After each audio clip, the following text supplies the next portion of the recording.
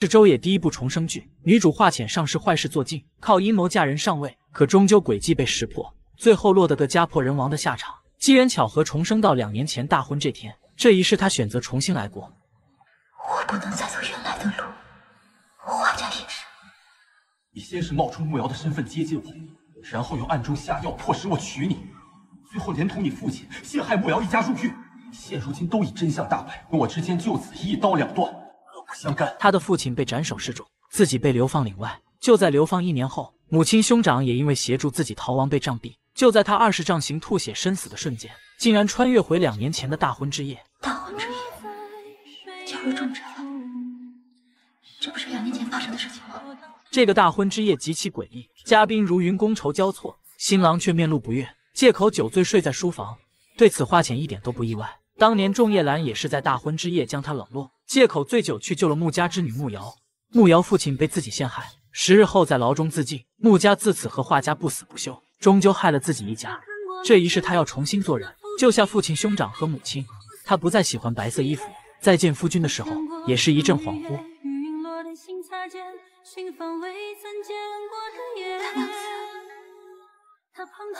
大爷，你我之间不必在意这些称谓，还像之前一样活好就行。也是，在受我蒙骗时，他因心怀愧疚，对我还算不错。曾经已经错了一次，付出那么大的代价，这一次就不要重蹈覆辙了。新婚夫妻去见众家家主，身边的男人却总是心不在焉。华浅才想起来前世也是如此。现在男人满脑子都是昨夜救下的慕瑶，而慕瑶也一定恨自己入骨。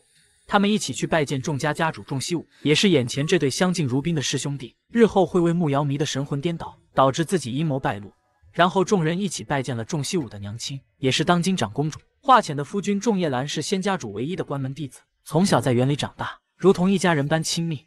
既然你也如愿的嫁入仲宅，往后收收心，好好的做仲宅大娘子，切记别再做出什么有失身份的事情来。怎么听着，长公主好像也知道钟夜兰娶我的真相，这是不是情理隐秘？这是他要改头换面，为全家保命。第一步就是改变自己的形象。长公主和别人训话，他在这故意小动作不断，也成功吸引了长公主的注意，换她一起去赏鱼。至少长公主没有像上一世把我一个人留在。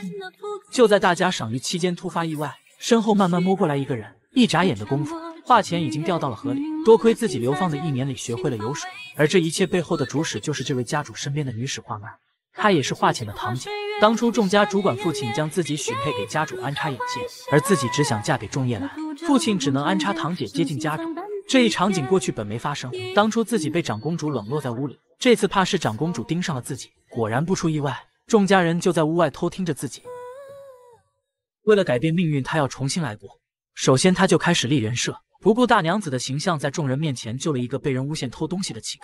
一，你没有找到钱袋；二。你没有抓到现行，就对他横施暴，不妨报官，让汪县令来断过错。若是没有证据指认的话，你就这样打人，怕不是只用赔医药钱这么简单的事。而这一切都被楼上的家主仲西武看到了眼里。前世他冷漠遭人恶感，这是他决定人后待人，救下了这个姓周的男人，把他送到了医馆。接着他找到了父亲，上世都是因为自己的嫉妒大动干戈，让父亲借机诬陷了穆家，解铃还须系铃人，这件事也得他来做。父亲还是那般权欲心重，听到女儿说对手可能会自尽在狱中，反而更加开心。话前只能接家主说事。华妈设局我落水和有人偷听我们谈话，本来就是真的。大夫将没问题，那我的添油加醋也就没什么关系了。和主家内院之人勾结，本是大忌，现在就斩断联系。家主此时应该已经注意到父亲了，此事还是掩去锋芒，低调行事。父亲也毕竟是新家主培养出来的人，若是现在的家主放心不下。定又会扶持新的主管来与父亲抗衡。此事要是由父亲主动去替穆家减罪的话，一来可以消除家主的些许疑虑，二来可以让他人觉得我华家不顾个人，一心只为众家的忠心。这般为主家考虑，会让现任家主更加信任华家。一荣俱荣，一损俱损，穆家已无法翻身。万一将他们逼上绝路，事情败露，难免落人口实。这般规劝下，父亲终于点头了。出门的一瞬间，华前手心全是汗。只有他明白，不救穆家，他们华家也完了。就算是殉情，想要说服没有经历过生死的人从善，也不是一件容易的事。也在这时，他见到了当年那个纨绔好色的哥哥。他娶了二十多个小妾，还在沾花惹草。虽然自己不喜哥哥的作风，但是前世他被自己害得流放一年，骨瘦如柴，也是为了帮自己逃亡。哥哥横死当场，这一世他要矫正的不只是画家的命运，还要带着他们一起从善。今天是华浅回门的日子，全家人都极尽阿谀的巴结仲夜兰这个仲家大爷。现在华浅成了仲家大娘子，母亲还想着华浅给哥哥也找个娘子。几杯猫尿下去，哥哥也越来越没正形。谁淋的离世，你要喜欢，我都给你送。华浅父亲看不下去了，刚呵斥两句，华浅赶忙拉着仲夜兰回了家。结果父亲一肚子话都没说出来。华浅是故意这么干的。当年父亲在仲家拉帮结派，遭到主家猜忌，这一世他要从根上改变这一切。不仅如此，他直接和仲夜兰摊了牌，他要见慕瑶。这下仲夜兰都惊了，眼前这个女人怎么突然什么都知道了？他哪知道妻子有着上世的记忆？阿姐，我救慕瑶绝无半点私情。从小时候你陪我守灵开始，我就发誓。此生只你一人。见到了慕瑶的那刻，华浅不禁又动了斩草除根的心思。他突然惊醒，上辈子自己害人反而害己，一巴掌就要把自己扇醒。结果事与愿违的是，醒过来的慕瑶却再也不肯相信他的话。现在我身上还有什么是值得你继续利用的吗？我没有要利用你，你以为我还会信你吗？经过这几日的种种，我已经彻底看穿你的真面目了。华浅不禁回忆起过去，上世自己极度诚信，看到仲夜兰抱着慕瑶，不管三七二十一就开始作恶。不仅设计划伤他的脸，还陷害他们一家入狱，背上监守自盗的罪名。你介绍给我的牙人，结果他把藏有沉水香的家具送到我们宅中。现在我们穆家已经背负监守自盗的叛主之名。之前我屡次上门找你，你不但矢口否认，还避而不见，直接报官。怎么？现在你打算改口承认此事？那你保证，日后我对你所说的话全为实。你别给我顾左右而言他。门外的仲夜兰听到声响，走进屋内，却发现了华浅被扇红的脸。不管华浅怎么为穆瑶解释，仲夜兰都觉得是穆瑶下的手。大爷，你不要再胡思乱想了。穆瑶没有动我一根指头，将心比心，姑娘家最怕被冤枉了。大爷还是给慕瑶赔个不是吧。华浅就这样把自己的夫君推给了情敌。这一世，他收起了自己的嫉妒心，决定撮合这两情相悦的两个人。结果父亲那边又动了小心思，他故意找了一批交趾的沉香，假装是陷害穆家的琼州沉香递了上去，为穆家开脱。这般拙劣的演技直接被家主仲西武看出端倪，这两批沉香根本不是一样东西。虽然他行差踏错，可您看，这陈水香不是已经还回来了吗？终身流放等同于死罪啊！还请家主开恩。男人又当又立，要救穆家，还要他们再无翻身之地。当初带头叫嚣严惩穆家的人是他。现在自掏腰包为穆家求情，自作聪明反而遭到了仲西武的猜忌。我这里也不缺女使，倒是上次路过大爷的书斋，看着似乎极为冷清，不如就让穆瑶去你的书斋服侍吧。那便听你安排吧。在华浅的谋划下，穆家保住了，终生流放改成了三年。穆瑶父亲再不会因为绝望自尽。华浅赶忙找人给狱中的穆瑶父亲送了封信，安慰他从长计议。穆瑶终于见到了自己的父亲。祸不及家人，女孩现在也摆脱了通缉令，她却再次找到了仲夜兰，跪在了他的车前。她要为仲家做奴做仆，不管仲夜兰怎么拒绝，她都死心要留下来，甚至不惜为此威胁仲夜兰。大爷若是执意不肯收我为仆，那日后我流落在外，恐怕会一不小心说漏嘴。当初穆家上下被抓去发卖，还要多亏大爷把我软禁。是我的错。从一开始我就不该接触你。这两人之间是有情愫的，他们的相遇正是华浅看到的那幕。穆瑶抓一只飞上树梢的鹦鹉，无意间掉了下来，正好路过的仲夜兰救下了他。又是这种设计接近我的伎俩。此时的仲夜兰还不知道，眼前这个女孩才是他从小长大的青梅竹马，而华浅只是个伪装的骗子。慕瑶为仲家做奴的目的也很简单，就是为父亲洗清冤屈，找出华浅陷害他一家的证据。华浅还以为救了穆家、放走慕瑶就可以改变一切，谁知转眼夫君竟然带着这个女人再次走到他的眼前。仲夜兰想让慕瑶伺候华浅，妻子转身就把慕瑶又推了回去。旁人都恨铁不成钢，看着他引狼入室。只有华浅拥有前世记忆，知道这一切因果。而解救慕瑶一家的仲西武却在茶楼看到了这么一幕：华浅的哥哥趁着父母回乡，欺男霸女当众就要强抢民女。仲西武见状不平，让身边的侍卫下去出头，狗腿子一打即退。化身狐假虎威，就搬出了自己妹夫是仲家大爷的身份。在场的画家下人见状，赶忙回家禀报。男人看着画家眼线都插到了自己身边，事情越来越有意思。等到华浅赶到现场的时候，就看到了哥哥满场叫嚣的样子。对面侍卫得理不饶人，说华家败坏众家的名声，华浅却异常清醒。可惜了大爷那等惊才绝艳的人才，偏偏把榆木当珍珠，连女子家的阿萨伎俩都会动摇。这二人从未见过，看衣着像是过路的江湖人士，怎么话语中好像很清楚我嫁给钟玉兰的缘由呢？哥哥到底是惹上了谁？就在这时，突然有人上来给了对面一拳，袭击之人也被他们打倒在地。华浅心中一定就有了法子，把他给我抓起来！你凭什么抓我？就凭你出言不逊，污蔑众家。我哪有？还有，把他也一同抓起来，全部送到衙门里去。妹妹，你是不是指错人了？指的就是你。既然你的毛病改不了的话，就去衙门的牢房里长长记性。这一幕完完整整被楼上的仲西武看到了眼里，而为华浅出头的男人，正是前几日他救下的那名乞丐。华深见妹妹真的不管自己，赶忙下跪求饶，对面护卫也赶紧道歉。就在他们喧闹之时，身后的周勇却默默的消失了。见对面不再生事，华钱也见好就收，只是他转身就将哥哥软禁到家中。而在二楼的仲西武也随之消失了。他望了一眼二楼，就已知道有人在暗处悄悄盯上了自己。还没待他跟踪二人，仲西武主动出现在他眼前。刚刚在楼上见师嫂处事干净果断，果真是和以前大不相同。家主说笑了，为人妻和为人子女时，定是会有不同。怎么不见师兄前来呀？这终归是我们华家的事，所以大爷还是不出面为好。这位家主也是奇人，不避嫌就要蹭华浅的马车。俩人在马车里相顾无言，谁也不肯张嘴说话。等回到家中，女孩想起这些上一世都没有出现过的情景，不禁有些后怕。怎么出现了这么多之前没有的人物和事？是因为我的选择不同，所以人生也变了吗？不过，重要的事情应该。而她真正要准备的大事，是两个月后出现的众家大计。此时的她和丈夫越来越疏远，不在一起住，不在一起吃，哪怕仲夜兰的主动示好也无动于衷，因为她知道丈夫的心始终就不在自己这里。以后我会好好待你的。那慕瑶呢？大爷打算？如何安置他？我要的可不是你不会服。大爷不妨给自己一些时间，好好想一想，不然贸然做决定，可能对我们所有人不利。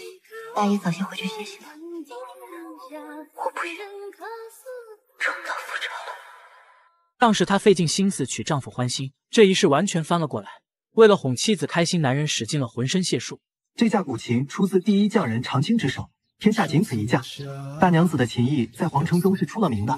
大爷特此寻来送给大娘子。银杏，把这个先收到库房里。大娘子不试一下琴弦音色吗？不用了，改日再试吧。见华浅不喜欢，仲夜兰又赶紧到处找好东西送过来。大娘子，这棋盘用的是上等的榧木制成，这是大爷费心寻来的紫毫笔，这是皇城中最好的诚心糖纸和端砚。不管送多少投其所好的东西，华浅都只是浅浅的回一句。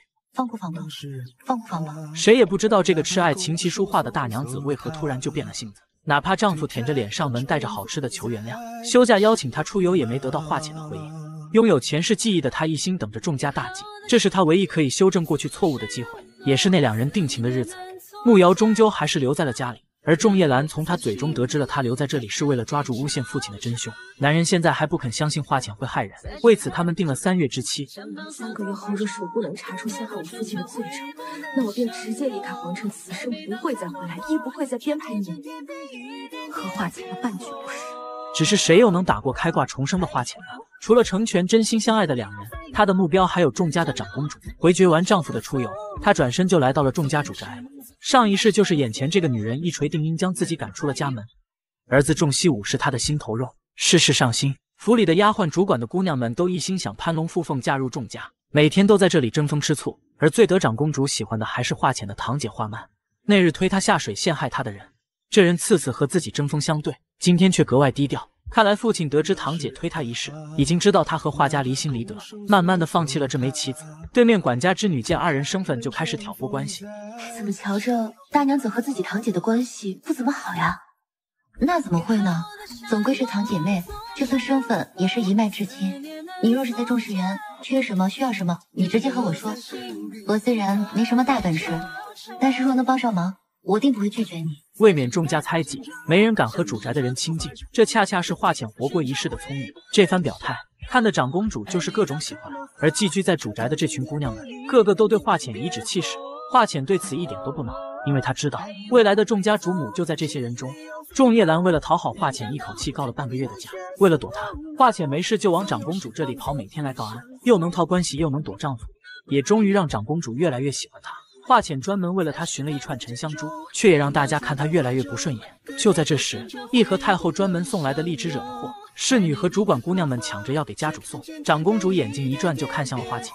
我去，嗯，好一招浑水东移，真不愧是宫里出来的。在他送到仲西武手中的时候，平日里喜怒不形于色的男人突然就叫住了他。你会看账本吗？这个账本上面记录着你哥哥化身用化毒馆的名义在相互肆意支取钱财。你说此事你爹知不知情？面对家主质问长兄窃取主家钱财，华浅一个拧肉就跪到了地上。化身是我的兄长，骨肉至亲，我又是一个女子，不知道该如何处理。家主贤明持重，自有处断，我不敢妄加指点。女孩吓坏了，上世众家就这样对自己家人开刀？其实这只是仲西武对他心性的又一次试探罢了。师嫂不必如此紧张，我并非兴师问罪，只是随口一问罢了。化身支取的也不是什么大事。这边刚度过一关，那个甩不掉的丈夫又跟了过来。这次华浅没再躲他，惊魂未定，抓住了仲叶兰的衣袖。这一幕看在大家眼里，还以为他们夫妻感情和睦，顺势丈夫就拉住了华浅的手，看得长公主就是一阵欣慰。也是在回家的路上，仲叶兰发现妻子心神不宁，男人不停的关心着华浅。女孩直接开启了话匣子模式。我好不容易化解了我和慕瑶之间原本存在的血海深仇，可是原本和画家没有纠葛的家主，不知为何现在却开始针对起画家。你说是不是原本的下场根本无法改变？当然，这都是在脑海中。仲夜兰是喜欢慕瑶，但也是真的关心画浅。你只需要知道，只要有我在，定会护着你。你若心里有气，不想和我多待也行，不必非得堵在师娘那儿。日后你若不相见，我便不会再去烦你了。这番话听得女孩心里一通难受。上是自己爱他爱的死去活来，不择手段做尽坏事，到了最后事情败露，也是这个男人亲手把自己赶出家门，划清界限。这一瞬间，华浅开始恍惚，他心中在乎的人会是自己吗？而看到他们夫唱妇随的一幕，管家之女羡慕嫉妒，自己被父亲送到这主宅多年，却一直不得长公主喜欢。如若再嫁不进仲家，恐怕就要被父亲抛弃了。画面一转，独守深闺的华浅生病了，她昨夜窗户忘关染了风寒。这丫头却开心的不得了。昨天在主宅被仲西武吓了一次，本来她就想躲得远远的，现在正好有借口可以光明正大的不去了。出嫁的姑娘就生生过成了养老的样子，每天除了躺着喝药啥也不管，家里的铺子账目不看，府里招人全由管家安排。上辈子活得太累，她是真的看淡了。她享福了，结果一大群人都跟着着急。长公主习惯了这丫头每天出现，魂不守舍，还等着他陪自己解闷。听到华浅病了，这个老太太又是喊大夫送药，又是盘珠。仲西武听到华浅生病的消息，还以为他在装病，对女孩的兴趣越来越浓。娘家人也来了，纨绔哥哥好不容易捡了禁病，刚进仲府就开始犯狗毛病，看见慕瑶标志就粘在他屁股后面。这次他就是为上次的事赔罪来的，买了一大堆首饰给妹妹，结果话没两句就转到了慕瑶身份上来。华浅这次是真的急了，你给我把脑子放清醒一点。你知道仲夜兰是他身边的人，可不是你能想入非非的。我你自己荒淫好色的本性改不了。难不成还想连累华家？他要管着哥哥纨绔花心，也不许母亲将手伸进仲家，甚至连自己的父亲都给了警示。千里之堤，溃于蚁穴。往日哥哥在父亲所管辖店铺做的那些事，不用我多说，想必父亲也应当心里有数。上世哥哥在仲家偷摸的那些银钱，可是着实害了家里。哪知母亲护着哥哥，根本没把女儿的良苦用心送到。现在的华浅宅心仁厚，宽待下人，无意间得知家里新来的一批护卫，有一人生的格外好看。惹得家里的丫鬟都发了春心。就在华浅都耐不住好奇心的时候，被身边银杏拦了下来。再过半个月就是丈夫的生辰，华浅突然想起，就是在儿时的这天，仲夜兰和慕瑶定情了。这天是仲夜兰的生日，也是她母亲的忌日。男孩跪在母亲牌位前，闷闷不乐。慕瑶来了，小女孩开导他开心，陪着他抓鱼。就在临别的时候，仲夜兰想知道女孩的名字，看看女孩的样子。慕瑶得了红疹，也听父亲的话，不肯随意告诉别人名字。无奈仲夜兰将自己玉佩送给了他。约定了两人日后一起再见，而华浅就是假装自己是那个小女孩，才嫁给了现在的仲夜兰。你要让我重活一次，为什么不让我在冒充他之前回来呢？现在想要拨乱反正，也太棘手。而在半月后的生辰宴上，前世的仲西武对慕瑶一见倾心。终于到了这天，华浅安排了满满一桌菜，等着这两个男人上钩。对了，这里再加一把椅子，不然一会儿家主来了没地方坐。家主也要来，怎么没听大爷提起啊？你信我就行。开挂的华浅还是厉害，这两个男人一起出现了。除了这桌菜，他还为大家准备了场好戏。女孩让下人抬出丈夫给她的赠琴，让情敌慕瑶上去弹了一曲。过去是我先弹奏了一曲，然后开始挑衅变成长大的慕瑶，结果最后自讨苦吃。那这一次，我就索性顺水推舟，助他成名。果然，慕瑶的琴音杀伐果断，吸引了仲西武的注意，借势就要带走这个下人。不如将他让与我，娘亲破案乐，正好将人送给他解闷。这个女主是真炸裂，别人穿越左拥右抱，她在这开挂养老不近男色，一心只想把丈夫送给情敌保小命。刚嫁进来没几天，就开始琢磨着离婚。之前大爷说过，大娘子的嫁妆无需放在公账里。如此说来，若是日后和离了，这些银钱和铺子都能给。就在仲夜兰的生日宴上，家主仲西武看上了弹琴的慕瑶，画面一转，就变成了发呆傻笑的华浅。原来家主要人的把戏都是女孩脑子里的自嗨。仲西武见状，让华浅也弹奏一曲。谁知女孩各种推脱，就是不演。听闻师嫂的琴艺也是皇城一绝，阿姐的琴艺师从名家，自然是世间少有的。是吗？不知今天我有没有这个荣幸，能够听上一曲呢？没，慕瑶珠玉在前？好不容易把慕瑶推到了前面，造化弄人，又把两人的注意力转到了他身上。他越是这般谦让大度，仲西武就对他越加好奇。从没见过哪家的娘子主动给丈夫房里塞人。毫无私心，毫不嫉妒，男人的恶趣味又开始了。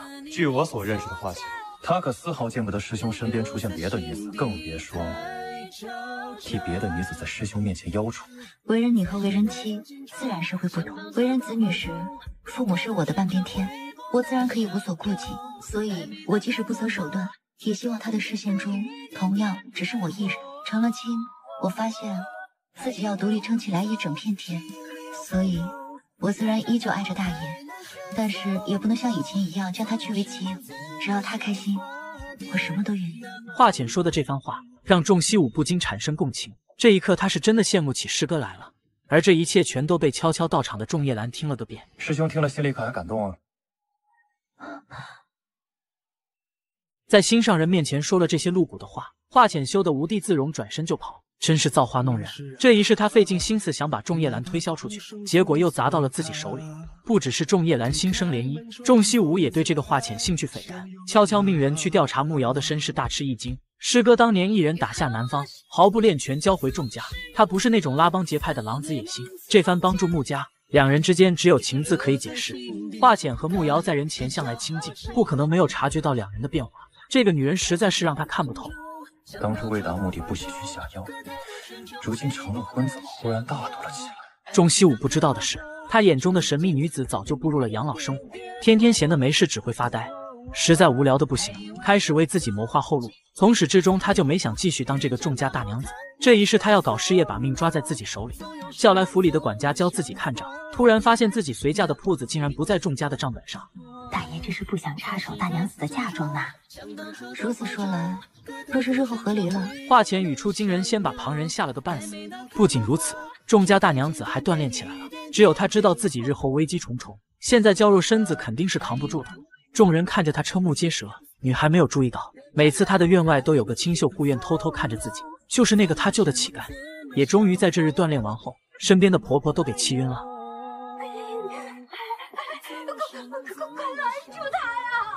女人穿越从来不走寻常路，拥有前世记忆，她却为了一纸修书卡 bug。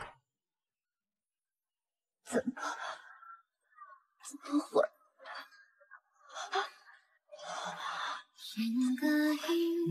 华浅，华浅终于等到了心心念的众家大吉。当年就是慕瑶使出苦肉计为丈夫挡下一剑，墙上刺客正是慕瑶的第三号倾慕者，和慕瑶里应外合取得众家信任。这是他不会再让这一幕重演。然后大家都在虔诚祭祀，他在这左顾右盼等刺客。刺客出现的一瞬间，男人厮杀家眷四下而逃。这个姑娘一点都不慌张，蹦蹦跳跳到处乱窜，哪怕刺客已经砍到眼前。那才是你的目标。我为什么要听你的？因为上辈子我没有受丝毫的伤。上辈子，现在就送你去下辈子。大娘子，你没事吧？小护卫真是太猛了。一个人挡住好几个，就在墙上刺客弯弓的一瞬间，华浅知道机会来了，一个马步冲过去推开了木瑶。就在他转身也要将仲夜兰推开时，男人本能的自卫拽的女孩失去了重心。也是这一瞬间，意外发生了，他一个开挂的穿越人，竟然卡到了系统 bug。妻子为救自己重伤卧床，可是吓坏了仲夜兰。华浅却不顾伤势，非得跟他说话。再次生死的一瞬间，他想通了，前世的错误不能再错，他要向仲夜兰坦白一切。我以后定不会负你。我有什么事？小的时候陪你在寺院里守灵的那个女孩，不是我，是慕瑶。他也可还记得给那个女孩的玉佩？我之前撒谎说被我哥哥拿走弄丢了，但是我在慕瑶身上见过。我和大爷之间清清白白，从未有过夫妻之事。之前那场意外是我下的药，这样我才能嫁进重宅。真相直接击穿了仲夜兰，他踉踉跄跄拦住了离开的慕瑶。约定的三月之期已到，看到慕瑶玉佩的瞬间，仲夜兰才知道自己一直都找错了。你爹的案子，我帮你查。我也想知道华浅到底对我撒了多少的谎。病床上的华浅这一晕就是整整五天，醒来床前的人竟然是仲西武。刺客没有抓到，祭典上闲庭信步的华浅就是男人眼中唯一的破绽。女孩见状不顾伤势就跪在了地上。家主今日特地带大夫前来，不就是想亲自查看我的伤势是否作假吗？可是我只是把大爷的安危看得比我的命都重要，难道我这么做不能证明我的一片真心吗？女人重生人间清醒，为了一纸休书，她不顾性命为丈夫挡剑，结果却生生被男人逼反。既然你不给本娘子休书，那就别怪本姑娘给你好看。妾身画师今日前来，自请下堂。我所言，实为深思熟虑之后的建议，望大爷郑重考虑。我回院子，静候消息。画浅开挂重生，如同上世一样。众夜兰得知真相，就立马变脸。先是撤掉下人厨娘，女孩院里只留下了娘家陪嫁过来的千纸和婆婆，门外只留了小乞丐一人护院。现在吃饭必须千纸亲自去领，饭菜也是清汤寡水，没有一丝荤腥。再是砍了院里的开支，不再给华浅做新衣，连管账的府牌都被仲夜兰派人收走，丫鬟为她打抱不平。刚刚小姐才舍身救了仲夜兰，怎么男人这般翻脸不留情面？华浅却毫不在意。我学习管家知识，并不是为了接手重宅。我也不会贪这重宅里的一分钱。钟夜兰已经知晓当年寺庙的真相，还有我嫁过来所设计的局。若是一个男子整日对我口蜜腹剑，还用各种各样的把戏哄骗于我，你会如何对待他？什么人敢这么大胆欺骗大娘子？看我不打得他满地找牙！对于现在的钟夜兰来说，我就是那个口蜜腹剑之人。所以啊，挡剑归挡剑。这过去已经发生的事情是无法改变的。比起上世流放全家灭门的结局，现在粗茶淡饭已是幸福了好多。谁知仲夜兰这小子连女孩补脑的核桃都给禁了，华浅什么都能忍，偏偏就这个忍不了。连核桃都给我禁了，这可是我补脑子用的，我没脑子他赔得起吗？仲夜兰胆敢做初一，他华浅就敢做十五。有钱有铺子他自己买，作为大娘子不能抛头露面。我们的小乞丐终于上场了。仲夜兰、仲西武、华容州，至此华浅身边的三个男人全部出现。当初乞丐被华浅当街救下，华浅就如同仙女一般，自此就对他暗生情愫，忠心不二，甚至不惜改了本名。随着华浅的姓，现在小乞丐的名字叫做华容州。我既已掉到大娘子这里，那大娘子便是我唯一的主人。好，他这一改不打紧，华浅脑壳都要想炸了。他既没认出小乞丐，也想不起来上辈子出现过华容州这个人。这丫头又开始脑洞大开。难道是父亲偷偷在外面生的弟弟？他生的太好看了，一个重宅里的普通护院，竟生的这样一张脸，还跟我同姓。我爹有没有什么外事？大娘子这是什么话呀？或者遗落在外不为人知的私生子？现在也多亏有华容粥，他们吃上了满满一桌的吃食。还给他扛来了超级多的补脑核桃。华浅此时还想着忍，忍到仲夜兰受不了，给自己一纸休书。直到听到了这个消息，女孩再也忍不了。一早上就来过的，只只是被大爷让人挡了下来，不知说了些什么。华夫人和大公子都不敢再上门了。娘亲兄长就是他重生最在乎的人，竟然也受到了仲夜兰的欺负。他等不来休书，直接上门主动让位。眼前的木瑶屋里的男人都是保住画家的关键，偏偏他们都不再相信自己。不管华浅如何解释，都无动于衷。没有办法，华浅只能用行动证明一切。他是真的不再贪恋众家权势，不在乎仲夜兰这个男人。路遥那边三个男人也全部上场。武硕墨就是这次刺杀的幕后主使。武家觊觎众家的香药，仿制不成，便起了在祭祀大典上抢夺丹方的主意。谁知抢回去的却是一团废纸。而他此行的目的还有一个，那就是慕瑶。早些年间，他身负重伤，流落到还没破败的穆家，多亏穆瑶救他一把，也至此喜欢上穆瑶。为此，他多次夜闯众家，想带走她，穆瑶却死命不肯。武硕墨以为穆瑶留在众宅是为了给父亲伸冤，其实穆瑶心里是放不下仲夜兰。女主重生费尽心思想让丈夫休了自己，却也在这时有了新的结识。长公主听闻华浅伤好，招她拜见。女孩精心打扮出门的时候，华容舟在院门向她递出了自己的心意。大娘子，请留步。又是我哥哥送来的吧？华浅以为这又是哥哥送来的首饰，刚要将手镯退回，华容舟巧手一翻，打开了镯子的机关。这回我哥哥终于长记性了，学了个这么新奇的玩意儿。大娘子小心，这个刀虽然非常小，但却异常锋利。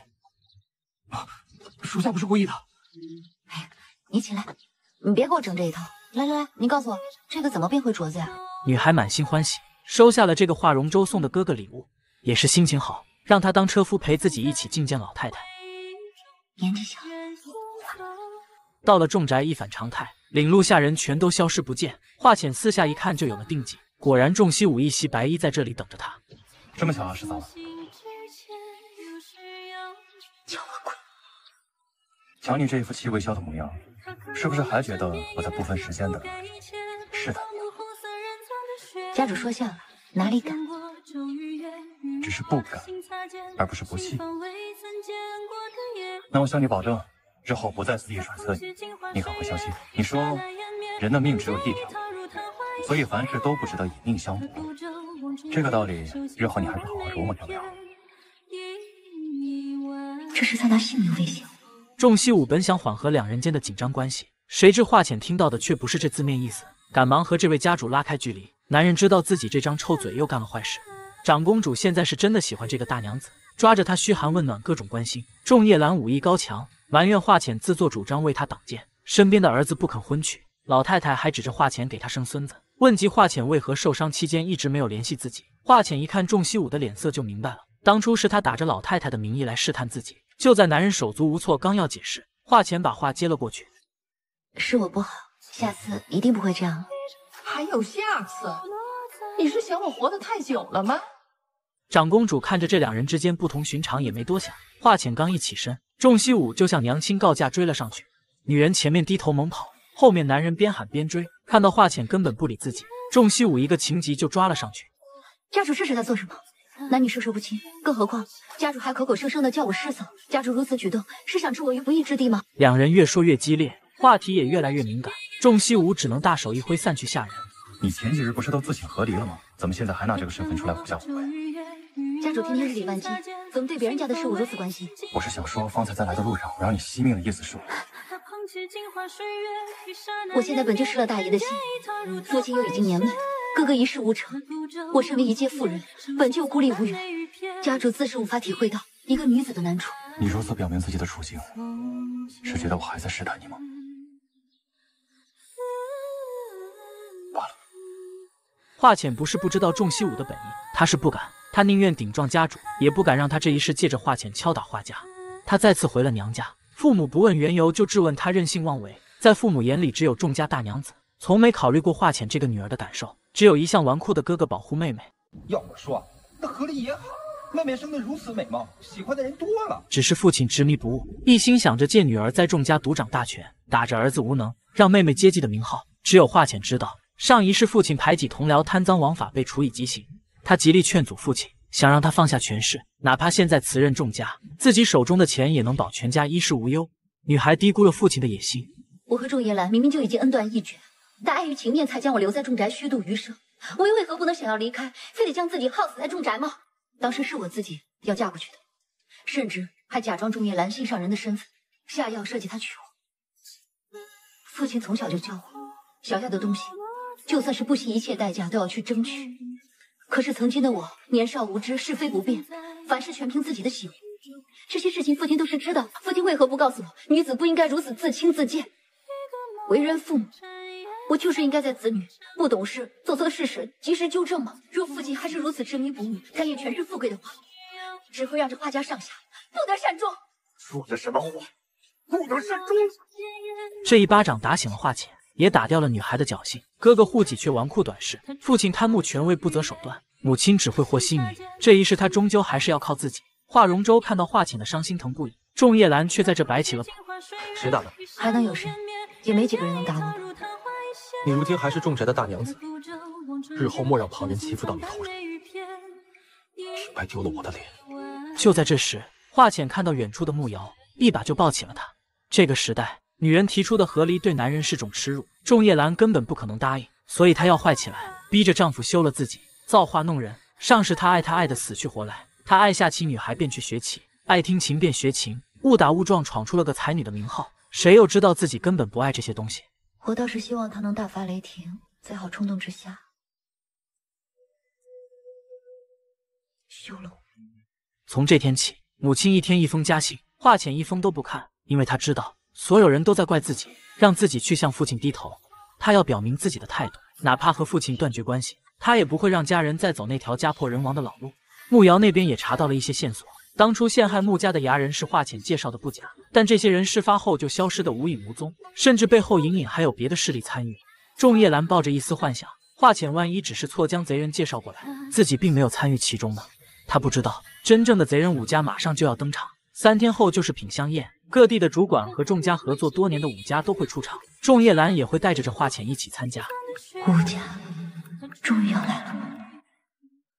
重生女主又开挂了，和粘人的小叔子零距离接触，女孩又羞又怒，想跑却跑不掉，因为仲西武的伤全是因为保护她。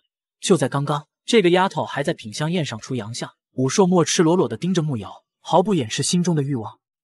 这是心虚了。也对，当初他那一剑，差点就结束了我的这一辈子。可是如今有我呢，换做不曾罢。华浅走了神，不停的拿筷子戳盘子。他这一走神不打紧，暗中关心他的人都呆了。很多事情都因为自己重生改变。现在武硕墨竟然主动找到了他联手。上一世自己事情败露被流放发卖，却遭到了武硕墨的背叛。性命攸关的时刻，女孩甚至不惜以身相许。你说你要带走慕瑶，我要仲夜兰。现在你是不想认了吗？我被你连累至此，你不可能就这样不管我。你的意思是你要跟了我？我好歹也是皇城第一才女。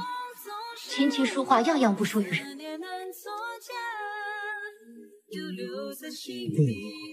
我对别人用过的东西没有兴趣。你，这次华浅不会重蹈覆辙。看到武寿墨打着帮自己清君侧的名号，借机要走慕瑶，他没有再和这个男人狼狈为奸。也就在这个时候，甩不掉的小叔子追了过来，两人的谈话都被男人听了个遍。自从华浅提出和离以后，仲西武的心思越发活络了起来。看着华浅慌张的跟自己解释，男人也不说话，就这么看着。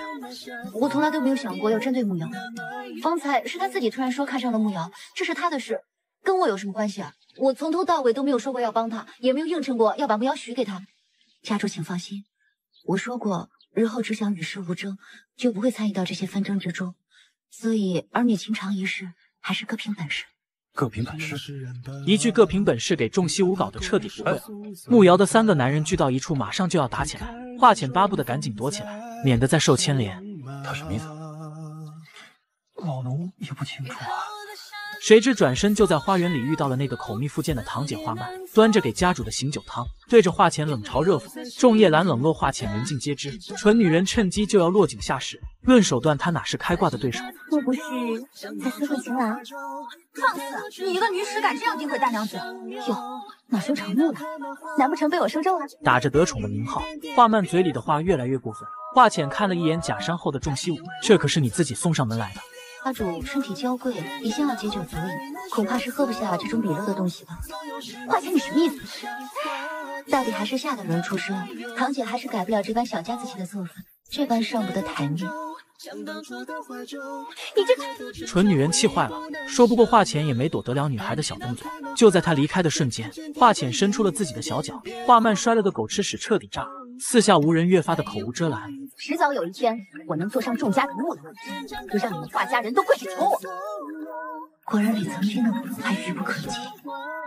哦，你如何能左右我的决定？你一个女人，主母之位是你说要就能要的？华曼被揭穿彻底失心疯，捧着醒酒汤就扔了过去。紧要关头，仲西武想都没想就扑了上去护住了他。华浅无奈只能陪着他去整理衣物，谁知仲西武胆子越来越大，就要孤男寡女共处一屋。女孩避嫌不肯进去，你我不言，又有谁会知道？或者是你想让别人知道，我是因为你才落得这个模样的？这是什么？止痛药青花散，我是因为你才受的伤，所以由你来给我。于情于理，仲西武说的都是事实。华浅无奈，只能让千纸守在屋外。结果下一秒，女孩就后悔了。你你在做什么？脱衣上药啊。那那要不然我让千纸来给你上药。你以为家主的身子是谁都可以看的吗？哪有那么快？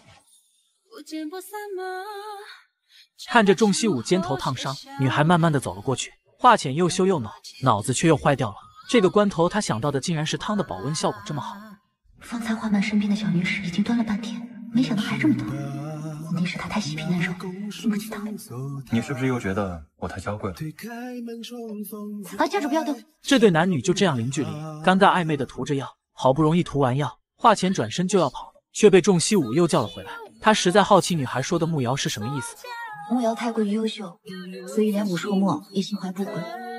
我好意提醒家主。你为何？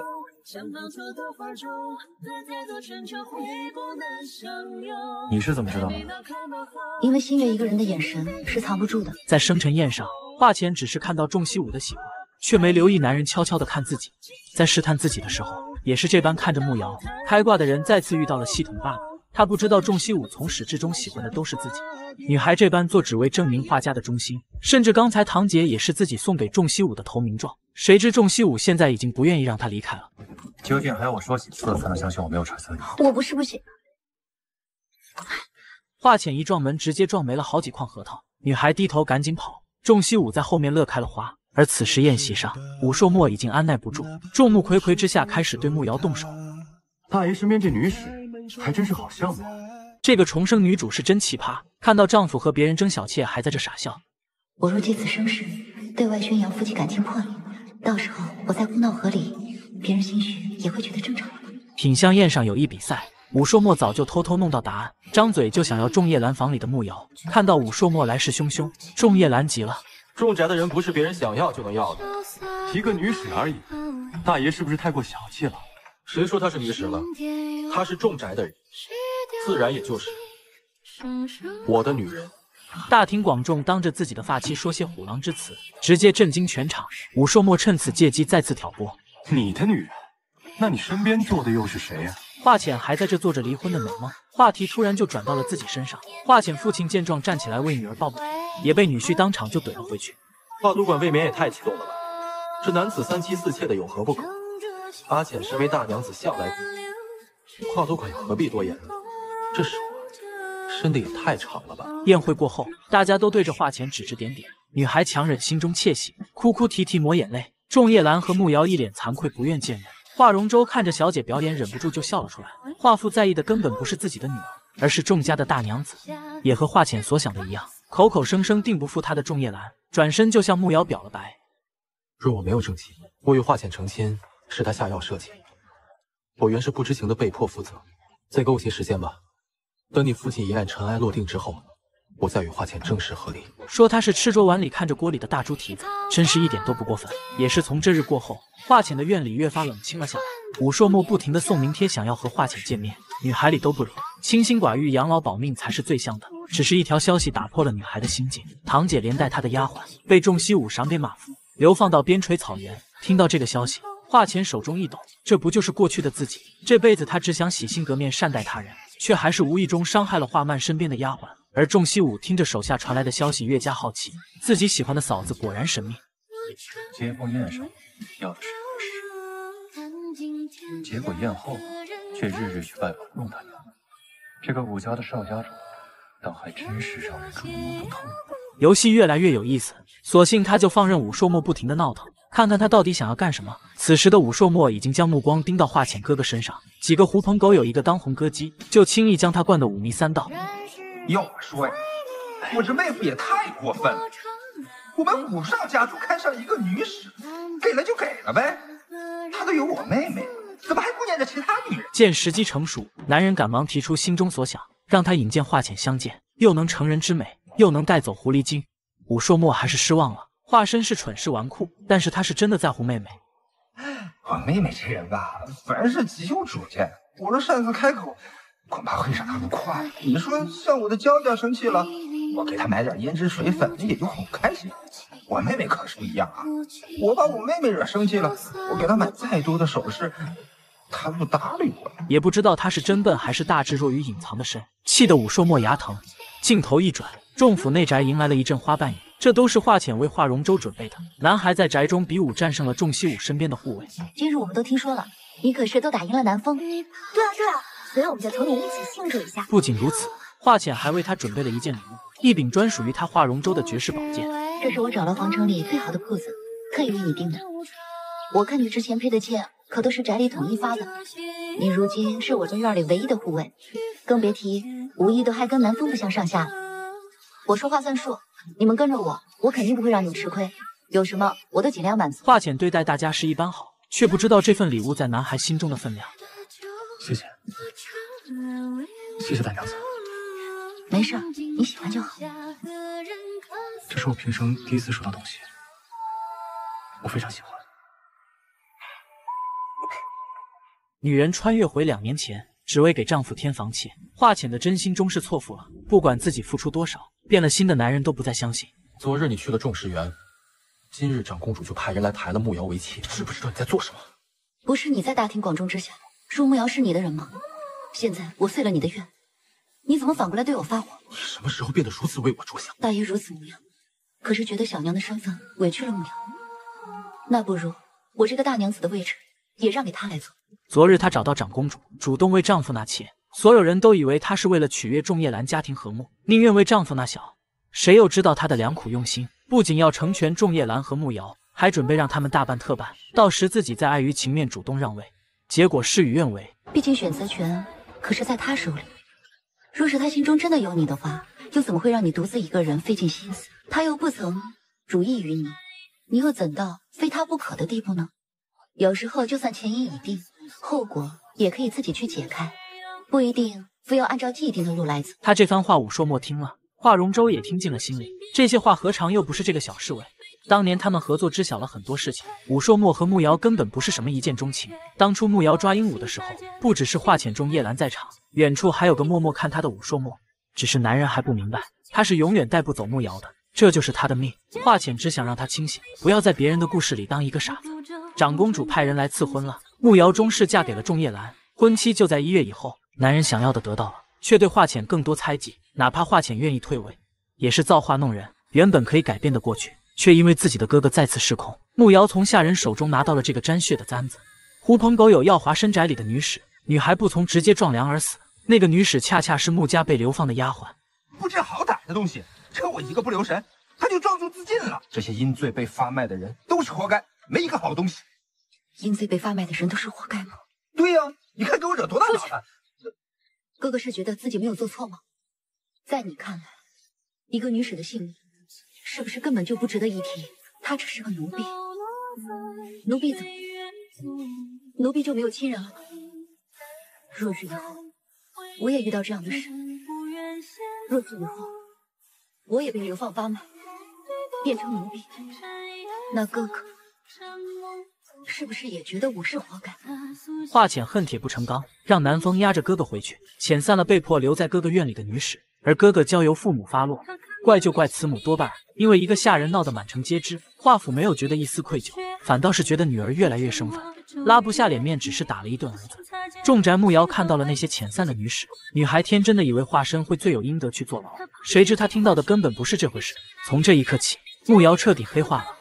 新仇旧恨让他不再抗拒仲夜兰的示好，他要在这重宅里向华浅复仇。我不会让你威胁的，只是现在我还不能和华浅合离。你若不愿意，可以拒绝。我愿意。一对男女在花园里你侬我侬，却没发现远处的华浅看到了这一幕，他悄悄退了回去，将这花园和这个男人让了出去。没了爱情，他却收获了更多东西。华容周跟了自己一年有余，女孩待他如同弟弟一般，看着这个十八岁的男孩越长越高，慢慢高过了自己。你瞧他，身子骨这么瘦，脸却像婴儿一样圆润，这样更是显年少。确实，圆脸会显得人年纪小呢。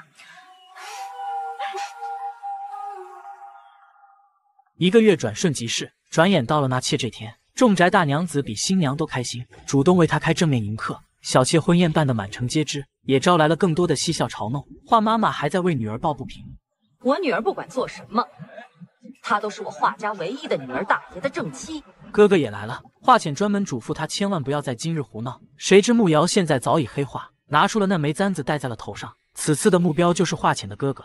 仲西武也到了重宅，看着华浅一脸开心。男人真的被他打败了，你怎么笑得这么高兴？家主，这人都已经快来齐了，你也赶紧随我入席吧，婚礼马上就要开始了。你倒一点也不诧异我会来，华姐，你心里彻底没有师兄吗？慕瑶照例给仲夜兰、华浅二人敬了茶，女孩在背后贴心的为慕瑶做了许多，却都被仲夜兰拒绝。不用了，敬茶的环节不必省略。其实我喝不喝都无所谓，我一片好意，既然大爷不愿。那就敬呗。你现在可真是一点也不伪装端庄贤淑了。怎么，大爷不乐意，那就休了我。女孩的一番好意到了慕瑶这里，却成了华浅压制自己的手段。哪怕华浅送她礼物，也被两人无视。女孩成人之美为丈夫纳妾，换来的却是男人的绝情一刀。即便拥有前世记忆，华浅还是没能逃脱被男人抛弃的命运。我就说你为何好心好意为阿瑶去求长公主。现在看来，就是你们兄妹早就和解好了吧？大爷，你冷静。我可以不杀他，但我必须要废了他两条手臂，让他知道什么人不该碰。大婚之日，宾客满堂，慕瑶这个白莲花却将目光盯在了华浅哥哥身上，趁他醉酒，以丫头的名义将他骗来。华生见色兴起，不疑有他，直接中了慕瑶的圈套。为了演戏，恶毒的女人不惜自残陷害。仲夜兰看到凌乱的现场，她不听华浅解释，毫不犹豫推开自己的发妻，一刀就砍了过去。华浅舍命相互迎上了刀锋，也就在这时，一旁的华容周冲过来护住了他。仲夜兰不在乎他，却是别人求而不得。男人打伤华容周，再次举起了刀。仲西武也站在了女孩身前。师兄这眼神，难不成是想同我也打一场？华深是华都馆的独子，不如先将他关入牢狱，等日后汪县令查清楚，再判罪过。家主的话终于制住了这个失心疯的仲夜兰。男人眼神越来越冷漠，看了一眼楚楚可怜的慕瑶。再看一眼手心流血的华浅，他无奈只能抱起慕瑶转身就走。得逞的女人眼神越加阴森。仲西武主动帮华浅安排外面的宾客，让华浅赶紧先处理自己的伤势。女孩不肯离开，扶起了华容周。对不起，对不起，大娘子。说什么对不起呢？你做的很好，我应该要谢谢你。看到华容周无恙，她终于放心离开了。身后的男孩却还在为自己保护不了小姐生气。华浅手心血肉模糊，疼得冷汗直流。仲西武安抚好外面的宾客，马不停蹄赶来为他上药。你是不相信我的医术吗？不是的，只是这样似乎与理不合。教主，要不然你打晕我再处理伤口吧。赶来送药的华容周看着屋里的两人，只能默默转身离开。哥哥现在被抓进衙门，父亲不敢出头，把一切都推给了女儿。儿子犯错，母亲还怪上了女儿。没人在乎华浅手上的伤，也没人关心他的处境。拗不过母亲，华浅只能去牢里探望华生。这次他听了妹妹的话，不敢打一丝慕瑶的主意。哥哥是好色坏事，华浅却隐隐感觉是有蹊跷。他找到了慕瑶，直接开门见山。婚宴之事，不都是你设计的吗？我哥哥虽然为人荒淫，但是我哥哥在我面前不会撒谎。更何况，我认识以前的你，你不是那种遇到一点事就会哭泣之人。慕瑶闻言毫不否认。至此，华浅终于得知是哥哥害死了慕瑶情同姐妹的丫鬟。新仇旧恨，他们如同上世一样无法和解。难道自己重生后的努力都是白费？他和慕瑶终究改变不了自己的命运。所以你以为为我求了一个小娘的赏赐，就算是补偿了吗？我差点就相信你了。我愿意相信，或许你在我们穆家的事情里面毫不知情。可是玲珑的事情让我明白，我根本没办法选择原谅你。华浅一行阑珊走出穆瑶的院里，却遇到了那个已经变心的丈夫。仲夜兰对她越加冷淡。那日家主若是没有阻拦，你的剑会不会落在我的头上？答案肯定是会吧。钟夜兰，那玉佩那么重要吗？小时候陪你在寺院里守灵的那个人是谁？真的那么重要吗？你如今在我面前示弱，就是为了让我心软放的化身是吗？仲夜兰的没有回答，却也戳破了华浅最后一丝侥幸。从这一刻起，他终于彻底觉醒，自己这一世绝不会再依靠任何人的可怜。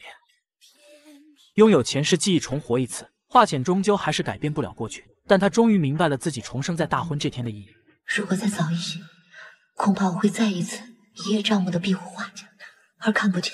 自己曾经做下的事情，福祸两相依。与上世不同的是，他也收获了永远守护自己的华容州和那个不敢启齿的仲西武。家主是鼓励我活性出墙吗？自哥哥出事已半月有余，华浅不见包括长公主在内的任何人，也不插手过问哥哥的事。直到这天，丫鬟背着他将仲夜兰带到自己眼前。华容州永远都是那么可靠，直接护在小姐身前。只是华浅已经彻底看穿了丈夫，倒是给自己养了个忠心的好奴婢。究竟是我做错了？还是因为大爷心里的偏见，才觉得无论我做什么都是错的。还请大爷以后不要再来打扰我。看到华浅转身就走，仲夜兰将他喊住，却什么话都说不出口。这两人终于渐行渐远。哥哥的墓，大爷想要被拿走，只要你能心安理得。重活一次的女孩怎么可能轻易认输？她理解了自己重生的意义，便卖了首饰，清点手里的铺子银钱，要和慕瑶好好正面刚一刚。也不再在乎大娘子的身份，带着华容舟夜出放松心情。就在行人推车即将撞上的瞬间，又是华容舟及时的将他揽住。你好像又长高了。属于男孩的时间总是太短。华浅转身看到了街边专门等他的仲西武，男人带他去了城中最高的摘星楼。一看眼前摘星楼有十一层那么高，华浅开始敲退堂鼓。女孩假装自己就伤未愈，不愿上去。男人的恶趣味又来了，半真半假伸出了自己的双手要抱她。啊，好像突然不怎么疼了。好不容易气喘吁吁爬上顶层，女孩累成一条小狗，躺在椅子上一下都不愿意动，被仲西武一把拉到了楼前。这就是仲西武的浪漫，登高看尽天下景，一解华浅三千烦恼。若是你今天没有费这么大功夫爬楼梯上来，哪里会知道别人口中的天才？若是怕自己忽略身边小事，那便多放些注意力在身边，而不是因此就不敢远看。你为什么对我这么好？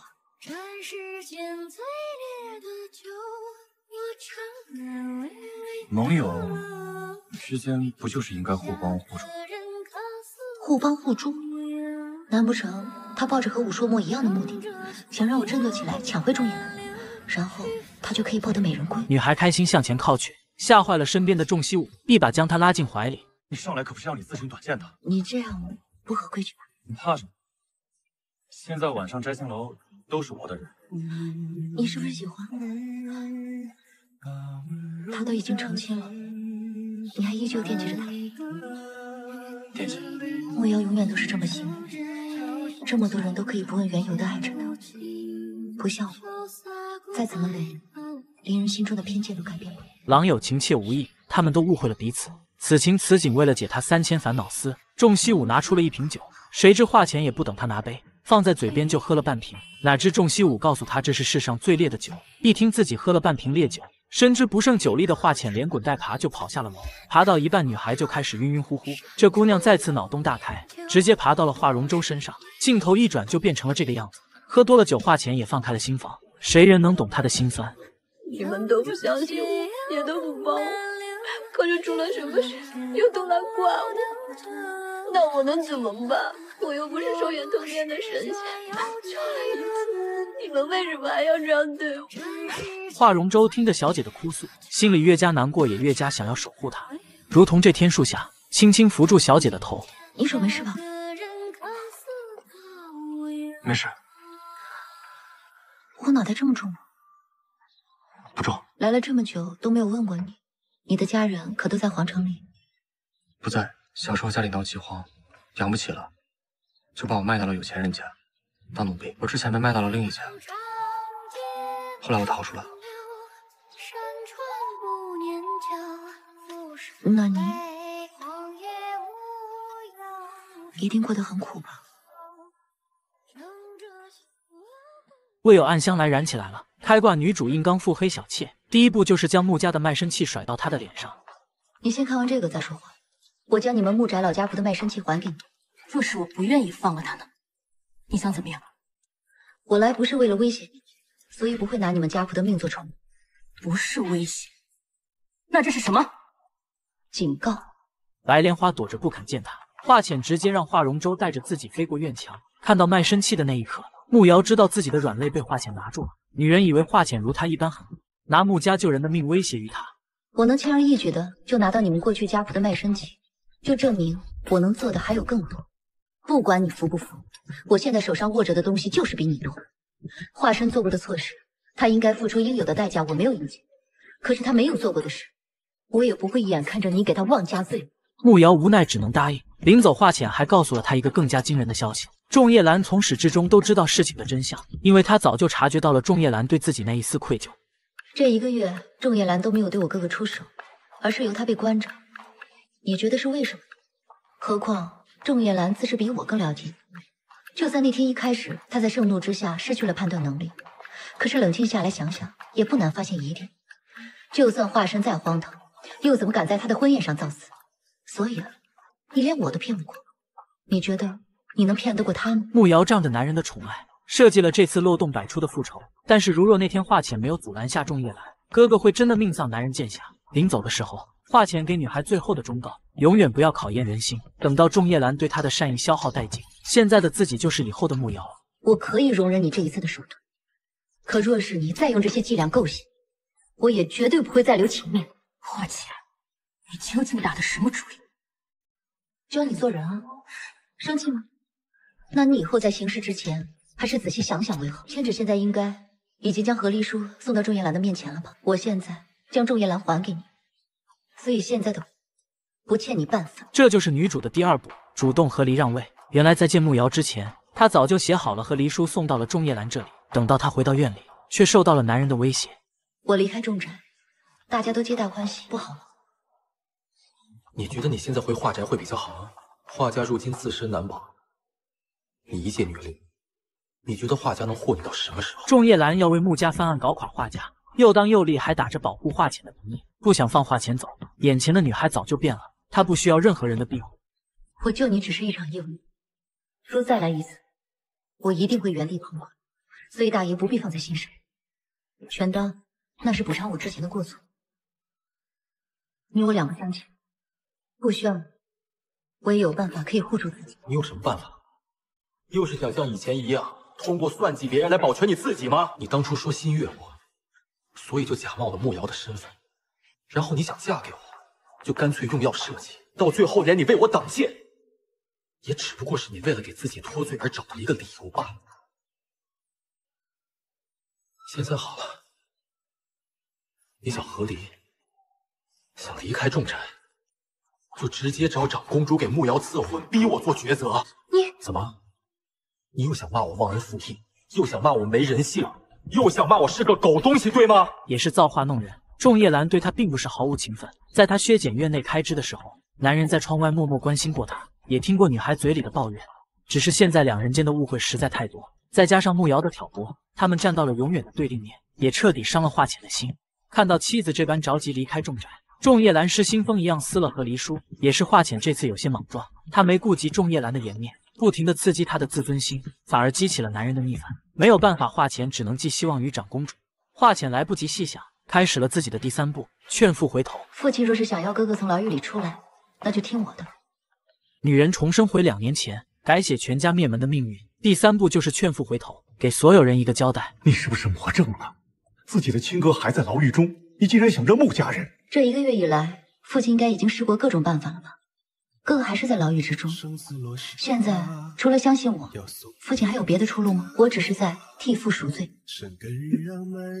父亲没有亲手杀过人吧？那你知道你手上不应该是画家所背负的罪恶到底有多少吗？丈夫现在一心为穆家翻案，女孩心里知道，如果画家不能悬崖勒马。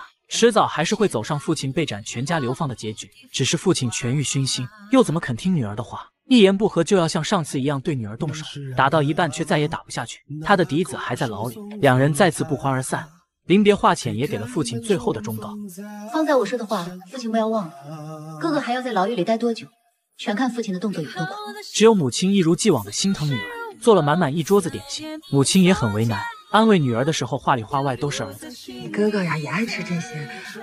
我记得那时候我做点心，他就在旁边守着，做好了就给你端去，等你吃饱了呀，他再吃你剩下的。娘知道，你一直认为娘骗信你哥哥是吧？他毕竟是我唯一的嫡子，你还没有生孩子，自然不知道嫡子的重要性。怎么不知道？上辈子也是如此，女儿是死是活无所谓，只顾着自己的儿子。怪都怪在这个时代吧。华浅的外祖母没有儿子，却在家中受尽别人眼色。母亲是家中嫡出长女，也被小娘家的弟弟各种欺负。外祖父从小偏爱小娘家的弟弟，男孩仗着自己的身份，在家里横行霸道，甚至强抢父亲送给姐姐的礼物。你一个女儿早晚要嫁出去，到时候整个骰子都是我的。你要是敢打我，我就把你娘赶出去当乞丐。听到这番话。姐姐终于忍不了动手了，但是父亲一有事都偏向自己的儿子。女孩一生气，直接将镯子摔碎也不给他。从这天过后，华浅母亲至此立誓，再也不要过回那种日子，更不想让女儿去受那份委屈。华府虽然一心揽权，没有纳妾，但是如果没有哥哥，华宅恐怕早就妻妾成群。你要说自己因为重男轻女而受气，怎么到头来自己也变成了口中的偏心之人？这不一样啊，倩儿，生儿是你的嫡亲哥哥，血脉至亲。如果没有你哥哥，你在重宅的日子能好过？你没了华家做靠山，大爷对你会没有一丝的忌惮。这是一个母亲对女儿的良苦用心，却也是一个时代的悲哀。只是华浅已经死过一次，他看透了很多事。这一次自己不会再依赖任何人，也要挽救华家。最后一步就是面对重宅的长公主了。哪怕这样英姿飒爽、开挂的女主，也免不了身心疲惫。就像前几日从探星楼回来，华浅足足骂了一道的街。女孩内心的话无人可说，只有喝多了才能做回自己。大姐，我受伤了，打扰我个屁！大爷，这不是我瞎了我的狗眼，我在看上你，因为我还喜欢你。我怎么这么憋屈啊！我天天的又是回国，又是中箭。这姑娘撒了一路疯，浑然忘了自己干过什么。结果华容舟就一脸纱布的出现了。男孩躲着小姐不让看自己的伤，因为这个伤口是华浅昨天在探星楼下咬的。女孩被家主喊到眼前，却是为了别人试衣服。仲西武也是个大猪蹄子，这是做什么？我想给他做一件衣裳，看你们商量相近，正好你也来了。你家主这院子里这么多女使，和慕瑶身量差不多的应该也不少，为何非要寻我？再说慕瑶如今是仲夜兰的人，你这样盯着自己师兄的后院算什么？你是觉得我身边的女使太多了是吗？即便是没有仲夜兰，她也不会再盯着仲世元。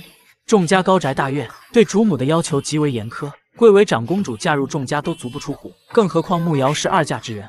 狼有情妾无意，他们再次误解了彼此。男人的懦弱终是和华浅误会越来越深，将他越推越远。儿女情长谈罢，拥有前世记忆的女主救赎计划还在继续。首当其冲就是赶在慕瑶仲夜兰动手之前，查明陷害穆家幕后真凶，为华家赎罪。而其中关键自是当初那个下人。前世记忆里还有半个月，慕瑶就会带着仲夜兰抓到他。华浅避开二人在院中安插的眼线，让华容舟去灰城找回这个牙人。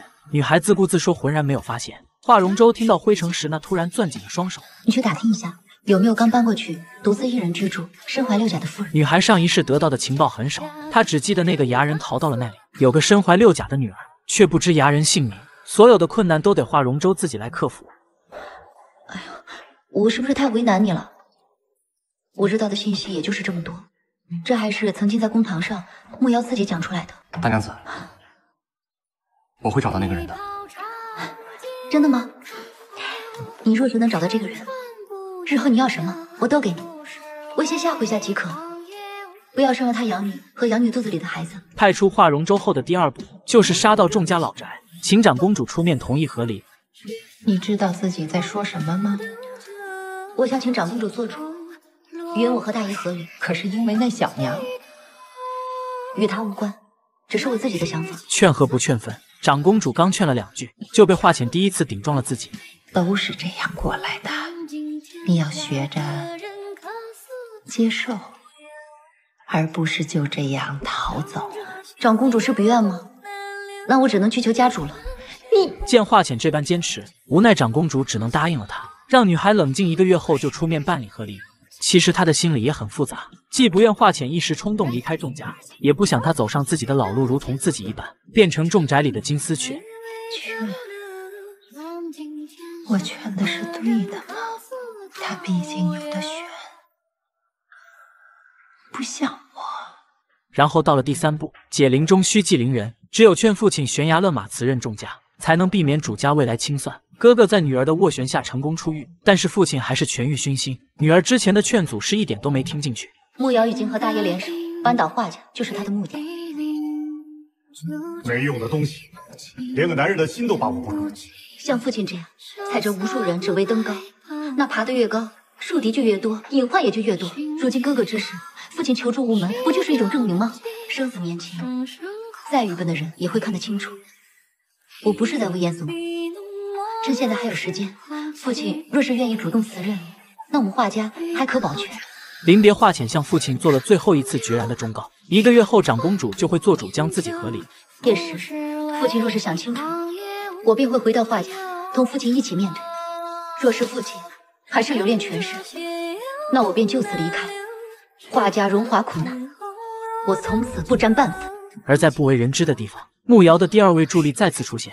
武硕莫夜探慕瑶的房间，要带她走。为了取信眼前的女孩，也将过去种种都告诉了她。那只鹦鹉是男人养的，只是自己慢了一步，没有在树下接住慕瑶。故事讲完，慕瑶听到心里的却是另一番意思。有没有看见一只鹦鹉啊？那个是你养的鹦鹉啊？原来他连这个都是骗我的。这注定是暗香来最刀也是最暖的两天。蝴蝶效应让华浅的重生再起波澜，原本不会发生的意外接连上演。哥，妹妹，你你之前中箭的时候。你是怎么痛的？这日的中秋宴，华浅没有选择和仲夜兰坐在一起，他无视众人诧异的眼光，坐在了华府的西前。女孩再三劝阻自己的父亲，却还是抵不过贪婪的人性。一个月已到，父亲还未派人来给我传信，我便亲自过来问父亲：“你可想好？”今儿今后还是莫要再提此事了。华浅手心发冷，将手中的酒一饮而尽，和父亲一别两宽。自此，华家的一切都和自己再无关联。仲西武看到华浅离席，赶忙追了上去。也在殿外，女孩终于拿到了仲西武替长公主送来的和离书。就在男人想要拉住她的那一刻，华容舟突然挡在了小姐身前。华浅来不及诧异，赶忙把华容舟护在了身后。家主，这里可是众士人，来来往往这么多人，我可不想在这个时候传出什么难听的谣言。他是谁？他只是众宅的护院华容州，姓华。一个小小的侍卫胆敢顶撞家主，华容州第一次落入了仲西武的视线。听到侍卫和华浅同姓，男人脸色越加难堪，吩咐手下去查明华容州的来历。也在女孩再次坐回宴席的时候，现场突发意外，上一世的既定路线出现偏移，无数黑衣人飞向场内，直指在场的宾客。这场刺杀上一世根本没有出现过，女孩怎么也想不明白到底哪里出了问题。而且刺客貌似是两拨人，目标混乱，有的冲向仲西武，有的冲向画家，甚至还有冲向慕瑶的。华浅来不及细想，赶忙躲在华容舟身后。女孩的猜想是对的，这其中一拨人因为慕瑶，另一拨人却是她怎么都猜不到的人。原本还算可控的现场，刺客对华浅下了血本，不停的冲击华浅身边的护卫。这两拨刺客也开始内讧，一方要杀死华浅，一方开始保护他。就在华容舟寡不敌众的时候，另一方向的刺客飞身扑向了华浅。在女孩将要身死的瞬间，那个纨绔却又宠她的哥哥飞扑过来挡住了刀。华容舟终于赶来挡住了刺客，只是哥哥已经鲜血直流。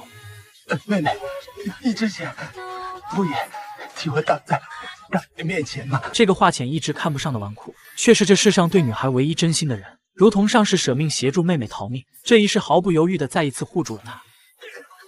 哥哥没事的，哥保护你啊，保护你。就在这时，华浅突然眼睛一黑，被刺客拍晕了过去。镜头一转，他被吊在悬崖之上，身边还有同样昏迷的慕瑶。黑衣人有恃无恐，也不杀人。想杀你的那拨人不是我，他们故意等到仲夜兰赶来，让他在这两人中二选一。现在他们两个的性命都在你手里，你只能救一个。我们有个说话算话放你，只不过这剩下的一个，就只能去这悬崖谈体喂鱼。仲夜兰心神大乱，却也隐隐做出了选择。男人紧张迈出的第一步，走向了慕瑶那边。听到刺客的话，想起当时内讧的黑衣人，华浅心中暗暗一动。他看了看仲夜兰那犹豫的眼神，再看了看身旁的慕瑶，真是可笑。原本今天就可以彻底和离离开重宅，这些人还在这玩些试探人心的把戏。慕瑶，是你欠我的。女孩拿出华容周送她的镯子，毫不犹豫割断绳索掉了下去。所有人都愣了。在丈夫二选一犹豫的时候，女孩毫不犹豫割断了绳索，却也在这崖下给了华容周表白的勇气。其实我心中有个重要的人？我们院子里就这么几个人，难不成是我？生死落下你好歹也接句话。啊！华浅真是开挂人胆大，也多亏崖边有树。华浅砸在水面上的时候没有晕过去，就这样胸口冲击逼得他差点吐血。也是上世逃亡，他学会了游水。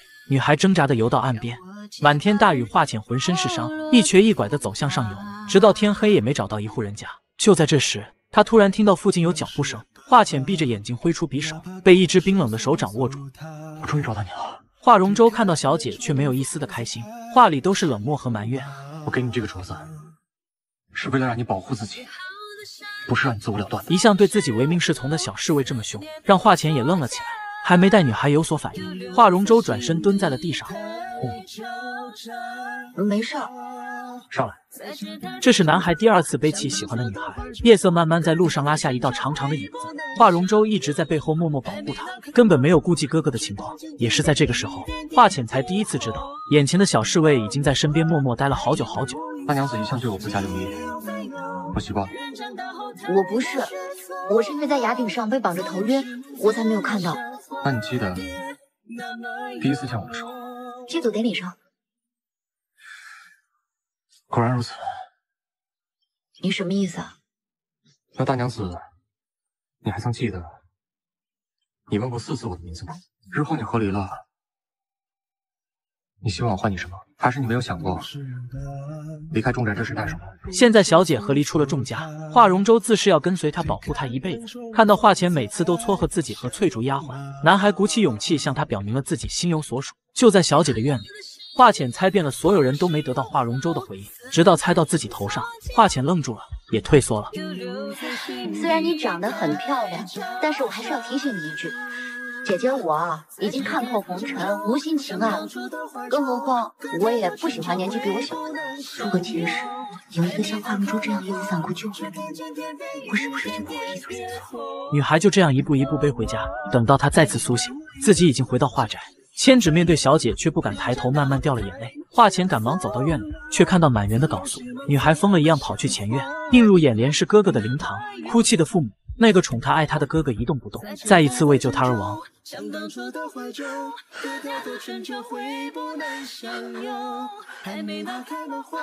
住手！把你的手拿开！他才是暗香来里最爱花钱的人。哪怕整个世界都抛弃了小姐，华容周也会一直陪着她。没事，你爱我，我会一直陪着你。哥哥死了，每个人都在埋怨华浅，母亲悲痛欲绝，把所有的事情都归咎在女儿身上。你死都被谁害的？谁害的？父亲让人拉走了悲痛欲绝的妻子，华浅闭上眼睛，静静等着父亲的巴掌。这个野心勃勃的男人一夜之间已老态龙钟，眼眶通红，却满是对女儿的慈爱。父亲终于在儿子死后幡然悔悟，只是一切都晚了。姑娘太过悲痛，说的话并不是他的本意。你哥哥这一辈子纨绔无赖，人家不该。没想到最后却做了一件让所有人都刮目相看的事情。我苦心竭力、不择手段的往上爬，就是想给他在日后打定好一条路。可他现在不在了，都觉得我这个督管之位也做得了无生趣。父亲的意思是要重新考虑我之前说过的事。我们就只剩下你一个女儿，你若不想在皇城里待着。可以，我决定听你的，不做这督管了。华浅靠在父亲身上，嘴唇咬出了血也止不住掉下的眼泪。他行尸走肉般走出灵堂，身边的幻觉越来越多。女孩不敢面对自己的哥哥，过去的历历幕幕就在自己眼前，却怎么都抓不住。哥哥的死如同一把利剑，戳破了华浅重生后一直以来的压抑。女孩放声大哭，她哭自己真的变成了一个人，她哭哥哥死了。自己竟然第一时间逼着父亲去辞官认罪。他哭，哥哥当初对自己是那么好，却因为偏见，处处对他视而不见。自己这一世还是没有救回他，而哥哥却再一次用命保护了华浅。他疯了一样想抓住幻象，又是那个叫华容州的男人一把拉住了他。我明明也中过箭，那箭也刺穿了我的胸膛，为什么我没事？为什么他就不行了？为什么他就不行？我是不是在做梦？会不会他根本就没有死？我没有哥哥。华浅崩溃了。就在他哭到精疲力尽的时候，男孩温暖的胸膛慢慢抱住了他。华浅躲在屋里一天一夜也不敢出门，直到听到外面喧闹的声音，才得知今天是哥哥出殡的日子。他不敢面对，他只想逃避。又是一阵脚步向他走来，是仲夜兰来了。他来参加哥哥的葬礼。仲夜兰关心华浅，表现出来的却是故作矜持的清高。你如果就这么躲着，旁人会如何说你？你哭吗？怎么？大爷是看我可怜吗？还是心里有愧？才对我这般和颜悦色，你把我当什么了？阿姐，我知道你现在心里肯定不好受，但你要出去的话，你先梳好发，再穿好衣服。这跟你有什么关系？我是来接你回去的。回去？回哪？回你的重宅，继续看你跟牧羊郎情妾意，然后我自己一个人在院子里假装不知道吗？男人永远是那般不知好歹，在女孩丧亲之痛时还要刺激她。也终于将华浅仅存的一丝情谊消耗殆尽。就在仲夜兰想要再次伸手拉住华浅的时候，又是华容州第一时间冲出来挡在小姐身前。华容州如今是我的人，还轮不到你来下令。男人恼羞成怒，直接对华容州动手。华容州并未还击，用身体生生挡了下来，自己退了半步，面色惨白。华姐，既然你坚持合理，那我便依你所愿。仲夜兰。你回去给母妖带句话。那次他欠我两条命。在女孩最脆弱无助的时候，仲西武终于鼓起勇气向花钱表白。家主是什么时候改变目标的？没有变，一直都是你。因为喜欢而眼神不同的人，一直都是你。已经成亲。还惦记着的人，也是你；量尺寸、做衣服想给的人，还是。从一开始就只有你。哥哥的葬礼办了一天，华浅就躲在屋里逃避了整整一天。他偷偷带着千纸一个人走到哥哥坟前，前天还活生生的一个人，现在只剩下一捧黄土一座碑。他就这样静静的跪在碑前陪着哥哥，直到慢慢没了烛火。就在华浅转身的那一刻，他突然看到了仲西武默默的站在路边。男人在华浅的身后，用自己的方式陪伴着他。仲西武是来送贺离书的。华浅看了一眼自己苦等许久的东西，心中一紧。这一世他真的好难，努力许久还是没保下哥哥的命。这一刻他是那般心酸。又何必这么是我想见你。仲西武在这一刻不再掩饰，一反常态的咄咄逼人。华浅转身就逃，仲西武也不离开，就这样不紧不慢的跟在他的身后。华浅赶忙换了话题，问他那日的刺客追查的如何。那些黑衣人全数自尽，衣着武器全然不同。仲西武已经查到许多线索，都指向了仲夜兰和华姐。这次的刺客尸体上的衣着配刀和之前皆有不同，曾经武家的少家主游学时，似乎一反常态，常常邀约众大娘子。你的意思是，怀疑那才是大爷？还是华家。对于华浅和师兄，仲西武都不疑有他，而他同样在华浅嘴里听到了一样的怀疑。两波刺客目标完全不同。就在这时，华浅的手突然被仲西武握住，女孩恼怒的看向他。到了现在，华浅还在装傻。就算此处无人，你也不能这样逾矩。你把我当什么？你不是一早就知道吗？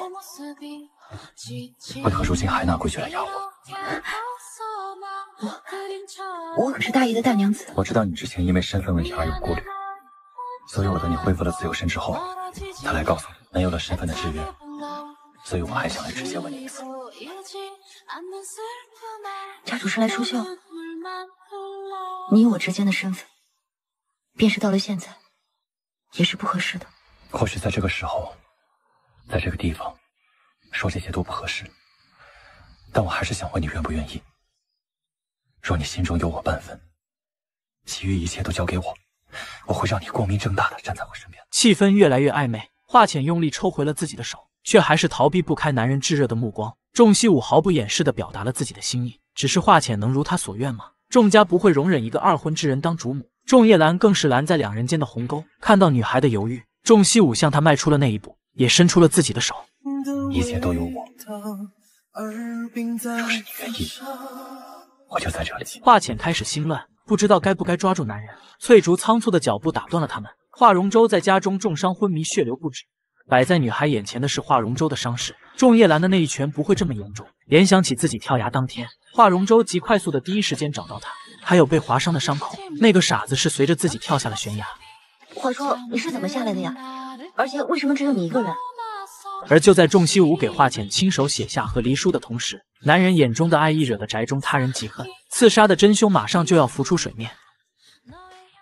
这个男孩为他毫不犹豫跳下悬崖，和黑衣人激斗受伤，却什么都没有告诉他，还默默的背自己回家。华浅看到华容舟的那一刻是真的慌了。男孩躺在床上，浑身纱布染血，昏迷不醒。你之前说过，我喜欢忽略你，我还不服气。现在看来，你们都对我掏心掏肺，而我却总是自私自利，只顾着自己。对你是这样，对我哥也是。还好，这次发现的不算华浅贴心为他盖上被子，华容舟却不知做了什么梦，下意识的抓住华浅的衣带，怎么甩都甩不开。女孩只能趴在床边陪了他整整一夜，只有千纸在门外陪着他。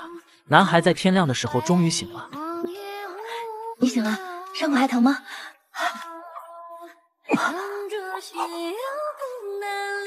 那你现在可以松开了吗？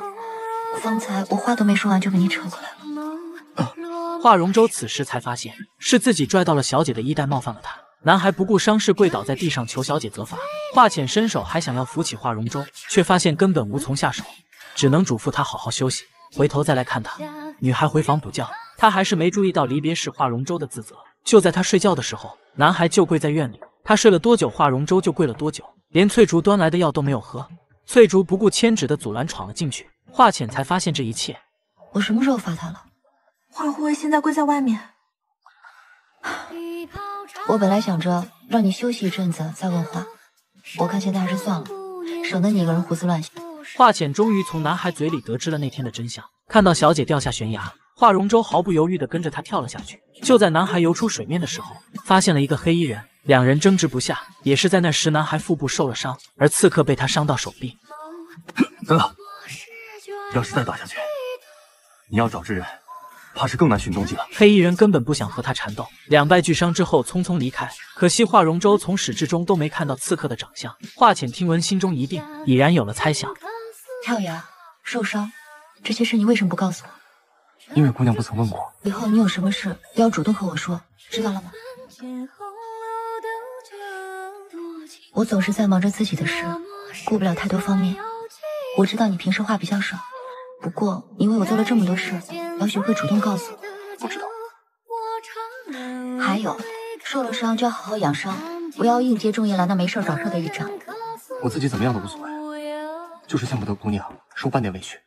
他是不懂华容舟的心意吗？安排华容舟好好休息，别再管护院一职。临别，华浅再次喊住了他。我眼神不太好，以后你少穿黑色的衣服，不然你受伤了我都不知道。好，这一部分黑衣人都是慕瑶在演戏。仲夜兰也察觉到事情的真相，华浅的欺骗男人无法原谅，白莲花的欺骗他就万般包容。我和华浅和离的消息，今日应该就会传开了。你不是连这几天都等不了了吗？我不知道大爷在说什么。华姐让我给你带句话。什么？他说你欠他。崖底的黑衣人正是武硕墨，男人手臂受伤就躲在城中。他这次隐姓埋名偷偷潜入，留给他逃亡的时间已然不多。只是他还是放不下这发簪的主人。经过这一切，重生女主终于觉醒，她要向那些龌龊阴暗的白莲花复仇。对她来说，三观善恶不再重要，女孩要将华府完完整整的保下来。华浅向父亲借了人手，他要亲手为哥哥报仇，安排好人日夜监视重宅，特别是慕瑶，还要留意有无夜闯重宅的人。若是你们被发现了，也没关系。就说自己是华宅的护卫，受我的命令在这里监视慕瑶。他就是要故意打草惊蛇，逼着真凶现身，为了得到更多情报。转身，女孩就进了众事园。她要将长公主赐婚的礼物还回去。长公主待她还是那般好，给了你就是你的东西了，不必再来还我。这是先帝留给长公主的，我一个外人不敢收，也不该收。什么外人不外人的？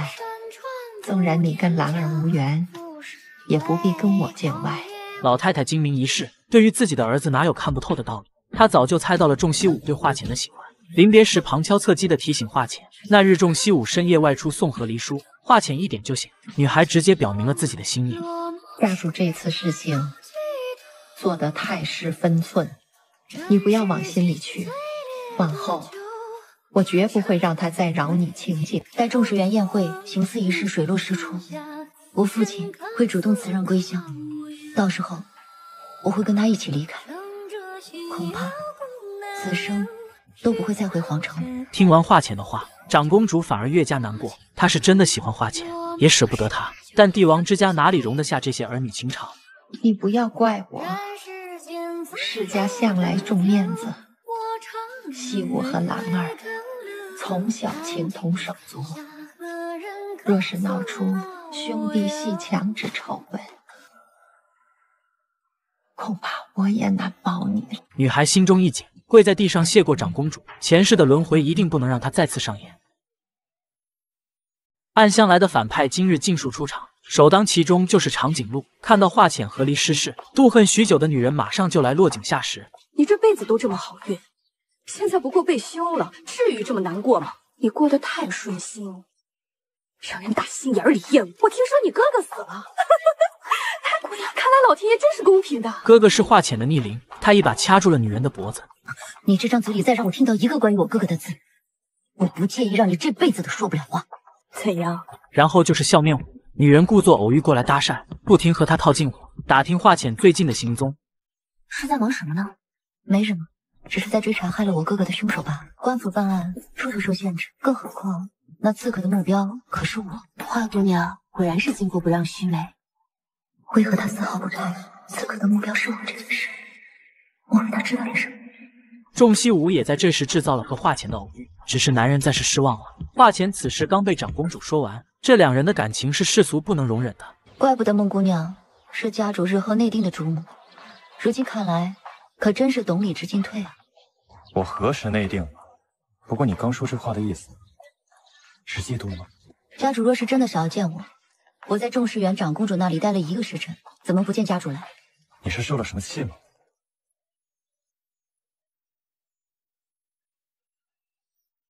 是我放肆了，请家主恕罪，我这就离。华浅说走就走，毫不给仲西武机会。但是男人已然变成了狗皮膏药，怎么甩都甩不掉。反正我已经等了你这么久，我不介意再多等一些时间。总归你现在已经变回了华家的二姑娘。你总是把问题想得太简单了，我们之间。可不是只要你情我愿就可以了。你也是对我有意的，不是吗？他贴心的为华浅腾空了摘星楼，那里人少安静，他想待多久都可以。男人炙热的目光看到华浅，不由得动摇。女孩赶忙趁机离开了这里。重宅之内现在诡异非常，长颈鹿爱而不得，连仲西武的话都敢顶撞。看到男人为华浅出头，女人直接狗急跳墙，反将仲西武威胁：“你想要关心华浅，何必找这么冠冕堂皇的理由啊？”你说什么？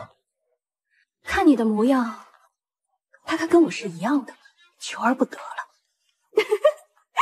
果然，我不是唯一一个这么惨的人呐。你都知道什么？该知道的，不该知道的，我都知道了。怎样，家主，你要把我杀人灭口吗？肉西武啊，肉西武，即使你是众家之主，你也和我一样是可怜之人，连所求之人都得不到。我和你不一样。再就是黑衣人武硕墨，华浅对重宅的监视收到成效，锁定了夜探重宅的嫌疑人。凭借前世记忆，女孩成功锁定武硕墨的逃亡路线，提前一天将华府下人都派去埋伏，成功在东城山脚下堵住了出城的主仆两人。华府人多势众，黑衣人自知不敌，终于开口了：“好你个华浅，当真要我的命吗？诛杀我的罪名，你担得起吗？杀一个逃奴有什么担不起的？你少跟我装蒜，你分明知道我是谁。”是吗？那你是谁啊？我敢自己抓人，你敢大声呼救吗？那我让你自己说。武硕墨被华浅拿得死死的，男人再有不甘也只能束手就擒。侍卫怕事情闹大惊动城内，女孩不置可否，让他们继续。她就是要闹大闹乱，将背后隐藏的凶手全部逼出来，闹到慕瑶主动上门求自己，临走还让下人主动散播消息出去。然后华浅让华容周演了一出好戏，假扮黑衣人夜闯华宅，再由父亲出面调动官兵守卫华家，将华宅围得水泄不通。慕瑶还没上钩，笑面虎先来了。华浅收到了女人的邀请，在得知华浅抓住刺客以后，笑面虎脸上的笑容越发和善，阴狠的面目慢慢暴露了出来。如此甚好，早日抓到那凶手，千刀万剐了才是呢。女人极尽可能挑拨华浅和长颈鹿的关系，想要和华浅结盟。他们一个家在边疆，一个守在皇城，里应外合，相互照应。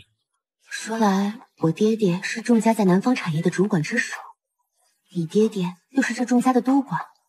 若日后我们能相互照应，那在这众氏园里，便没人能越过我们掀起风浪了。我不懂木姑娘在说什么呀？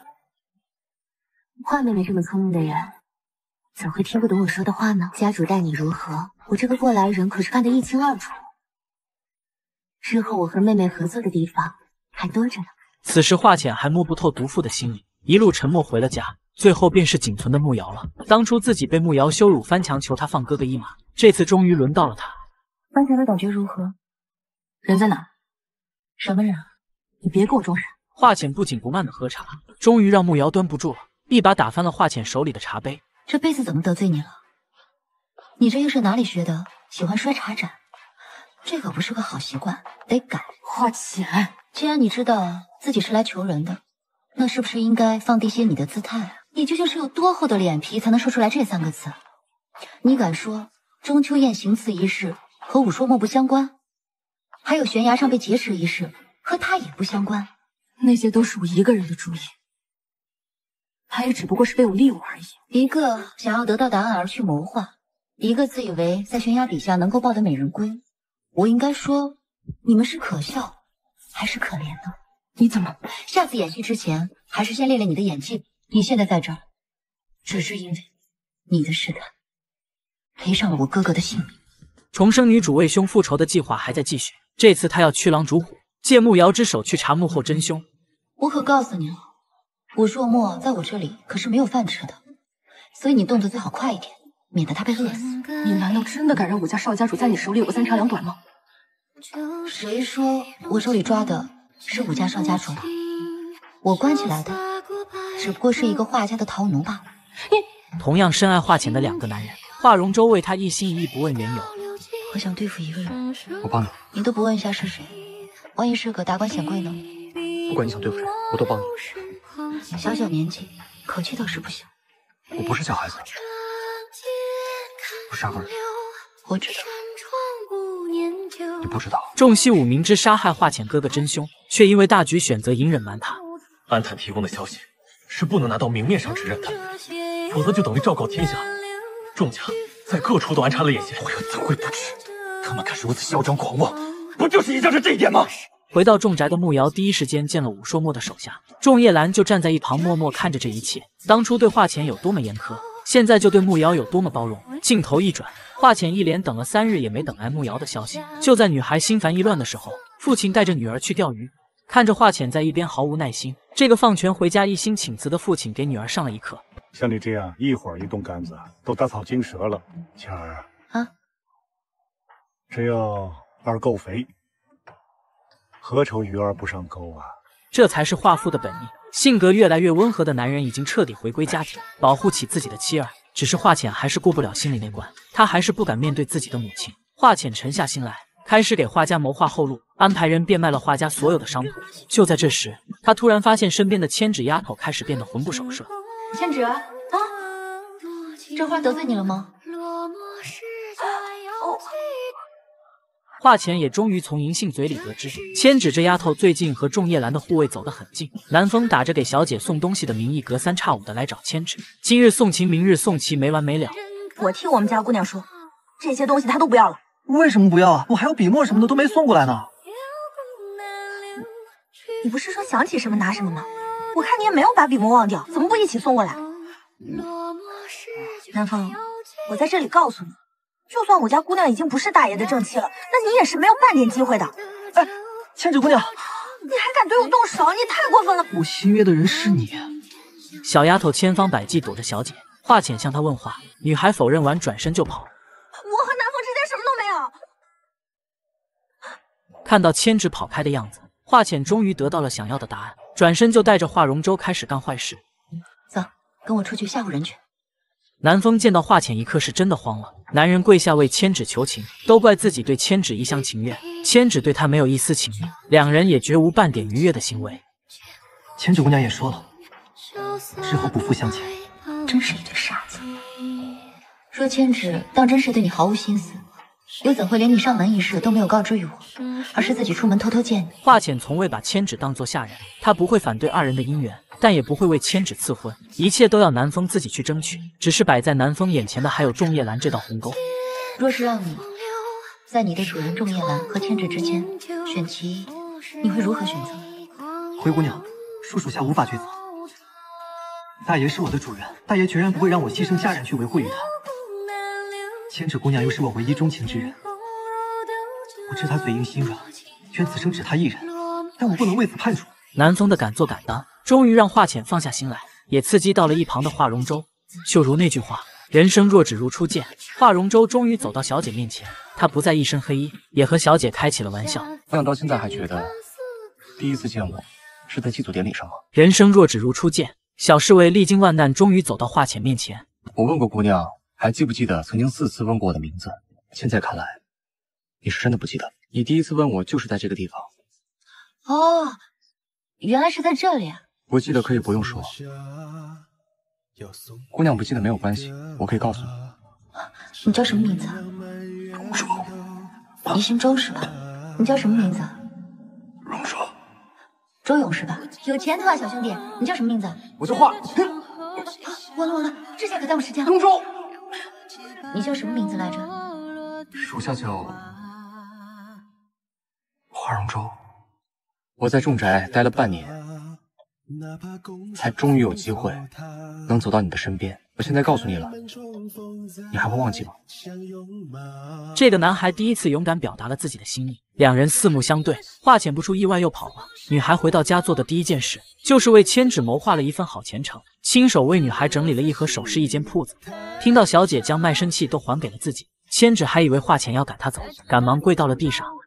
你起来，我不是赶你离开。这是我给你和南风准备的嫁妆，过些时日我可能就要离开皇城了。还好现在我知道了，要不然到时候把你带走了，岂不是误了你的幸福？不管姑娘去哪，我都要跟着一起去。你放心，若是日后南风欺负了你，就算我不在皇城，也会杀回来给你撑腰。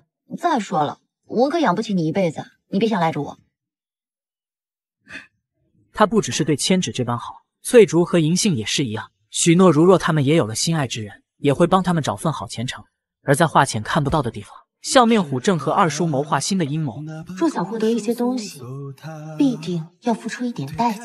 仲西武恰逢其会的到来，男人一脸笑容，让人摸不透深浅，仿佛什么都没有发生。孟主管的确是一心只为仲家的栋梁之才，现如今这南方的生意。可真是离不开他呀！啊，当然任谁都斗不过开挂的花钱。就在女孩再一次主动来到众事园，两人互相试探的时候，女人的阴谋终是暴露了自己的野心。见孟姑娘的建议，我考虑了一下，感觉不错，所以今日就特地前来细谈。妹妹若是有什么不清楚的，大可以来问我。我们若是合作，我定会倾囊相授。那不知家主平日里可有什么喜好？这你就问对人了。家主啊，最爱食甜，若妹妹投其所好，定是不会错的。妹妹难不成忘了之前长公主叫你给家主送过什么来着？伴君如伴虎，皇上终于对重生女主身边人下手了。果然是你这个杀千刀的贼人，竟然让我在这遇见了你！仲西武处心积虑安排了这么一幕，女人当街指认华容舟杀人。男孩看到来人杀心四起。华浅安抚他，将他握剑的双手摁下。仲西武看到这一幕，更加恼怒。华浅刚刚为他维护两句，华容舟却主动站出来承认了一切，不是污蔑。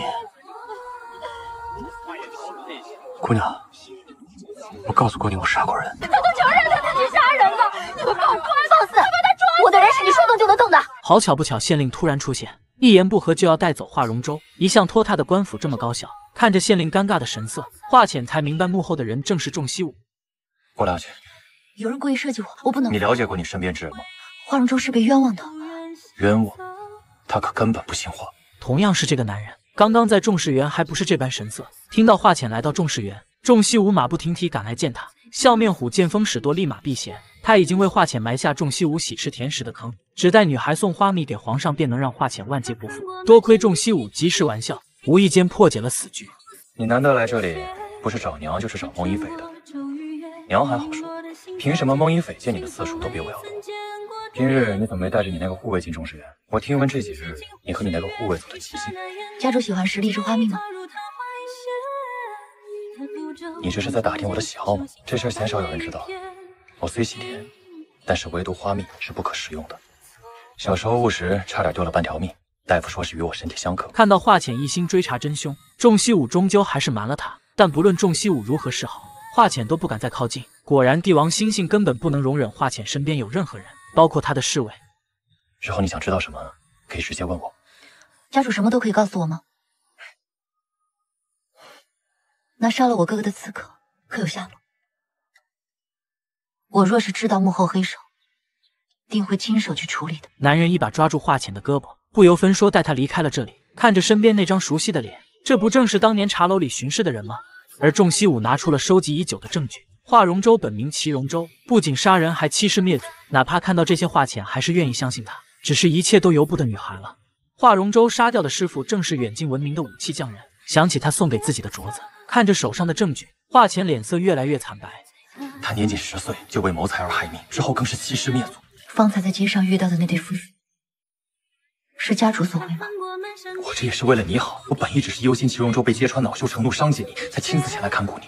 家主在此，当真是怕华荣州伤害的我吗？不然呢？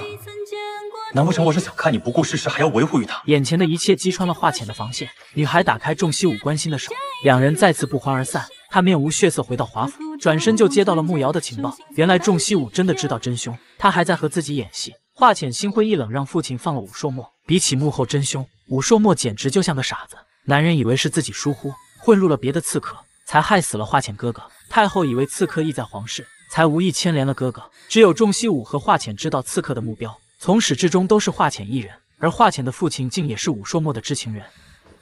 我还以为你打定主意做缩头乌龟，假装不知道我在这里了。今天放你走，你要记住，不该说的话要永远埋在你的肚子里。武硕墨欠了华浅一命，许诺日后一定相报。经此一事，他心灰意冷，要离开这里。男人最后见了慕瑶一面，彻底结束了这段求而不得的孽缘。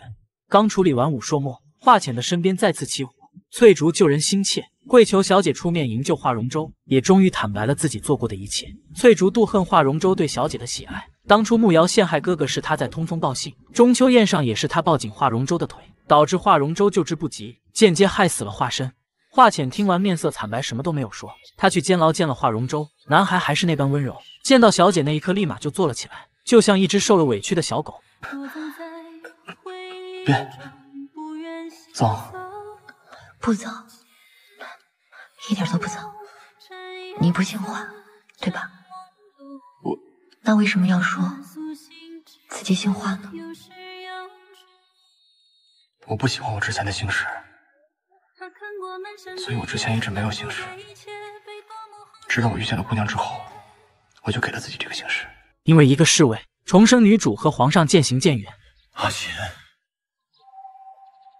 能不能有一次你主动来寻我，只是因为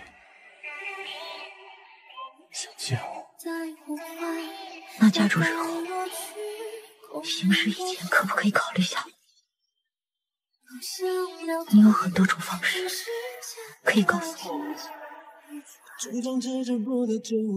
什么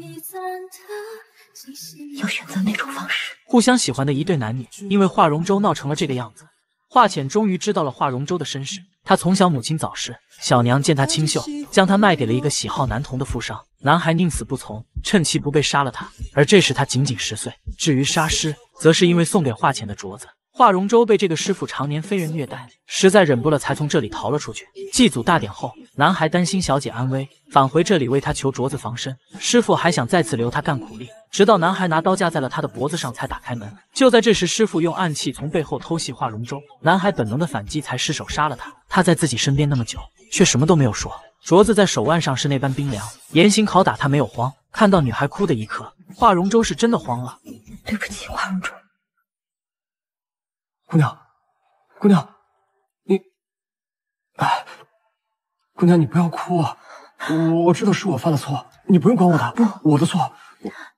这不全是你的错，你放心，我一定不会把你一个人丢在这儿的。男孩一动，无意间触碰到身上的伤势。华浅掀开他的衣物，才发现华容州浑身是血。狱卒哪有胆子对华容州严刑逼供？全然是受仲西武指示的。为了给华容州翻供，华浅再次来到了仲氏园。他想得到那对夫妇的下落。难得你能主动寻我一次，我还以为你是为我而来。华容州之事另有隐情。我跟你说了，他叫祁容州，你却荣华那华容州，你这是在跟我表明立场吗？他是我的护卫，多次救我于危难之中。护卫。他看你的眼神里可没有护卫该有的半点模样。原来你早就知道了，那你为何还要把他留在身边？你将我置于何地？我只是向家主回禀有关祁荣州事情的真相。两人行差踏错，伤害了彼此。仲西武第一次拒绝了华浅，谁也想不到仲夜兰会在这时出手，帮他查到了那对夫妇的所在。只是在告诉华浅之前，男人又开始犹豫。华浅还以为他要提什么条件，其实仲夜兰是想劝华浅收手。见女孩这般坚持，最后还是告诉了他，就当还了华浅对他的一箭之恩。两人相视一笑，一脸坦然。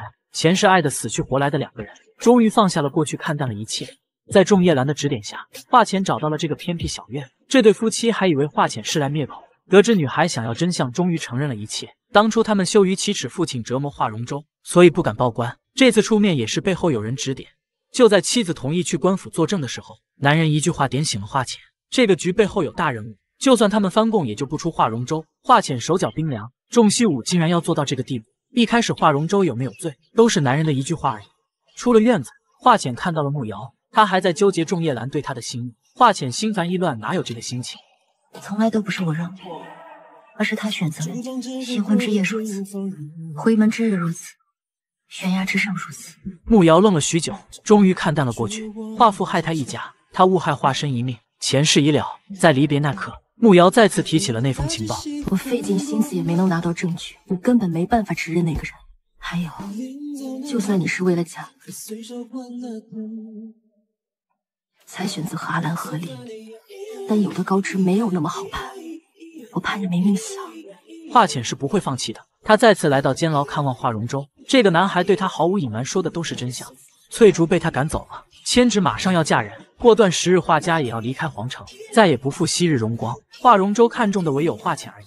我已经见了那对李氏夫妇了，是我连累了你，我一定会把你救出来的。那我对于姑娘来说很重要，对吗？嗯，重要。不管姑娘选择哪条路，我都一定会陪着姑娘的。为了稳固自己的众家江山，皇上选择了欺骗化钱。为了可以让女孩站在自己身边，仲西武更是逼着他揭发父亲。你爹做过的事情，当真以为我什么都不知道吗？你若想护他安全，就亲自介入。看到眼前这些父亲的罪证，女孩手脚冰凉。这些东西锁在梳妆台里，身边唯有千纸和银杏能拿到。银杏是你的人。家主方才说我不信，可是你却在我身边安插这样一个人。华浅终于知道男人为何会次次和他偶遇。永远不要揣测一个帝王的心性。刚刚仲西武不愿见他，华浅就赌气候在他的门前。不到半个时辰，仲西武怒气冲冲把他拉进大殿，随手就将女孩壁咚在墙上。你还当真是老子算准了我不会把你晾在门口受人指点，所以你就躲在门口。家主离我也太近了些吧？怎么你又想把我推开？家主先前不是怨我不来，怎么我来了？家主好像还是在怨我。那你敢说你是为了我而来吗？两人近在咫尺，却又远在天涯。女孩此次是来求仲西武放了华容州，作为交换华府不再追查杀害哥哥的凶手，同样是谋财害命，在仲西武眼里却不尽相同。华容州自卫反抗罪有余辜，笑面虎刺杀华浅，杀害华深却不用承担任何代价。若是家主真的公平公正，又为何把此事拦下来？不告诉为什么有的人杀人可以酌情，而有的人只能偿命？你是在拿这件事情同我做交易？原来这件事情，家主你早就知道。仲西武心里何尝不知对华浅不公？孟家在南方权高位重，皇上只想徐徐图之，将孟家的势力连根拔起。他没想到华浅竟然为了华容州，可以放下哥哥的血海深仇。华浅是不懂仲西武吗？他是不能。仲西武肩负皇家重任，家国天下，儿女情长在他这里永远都是末位。就如这次孟家行刺，他明明知道真凶是谁，却每次阻挠华浅和笑面虎的相见，生怕华浅查到幕后真凶无法收手。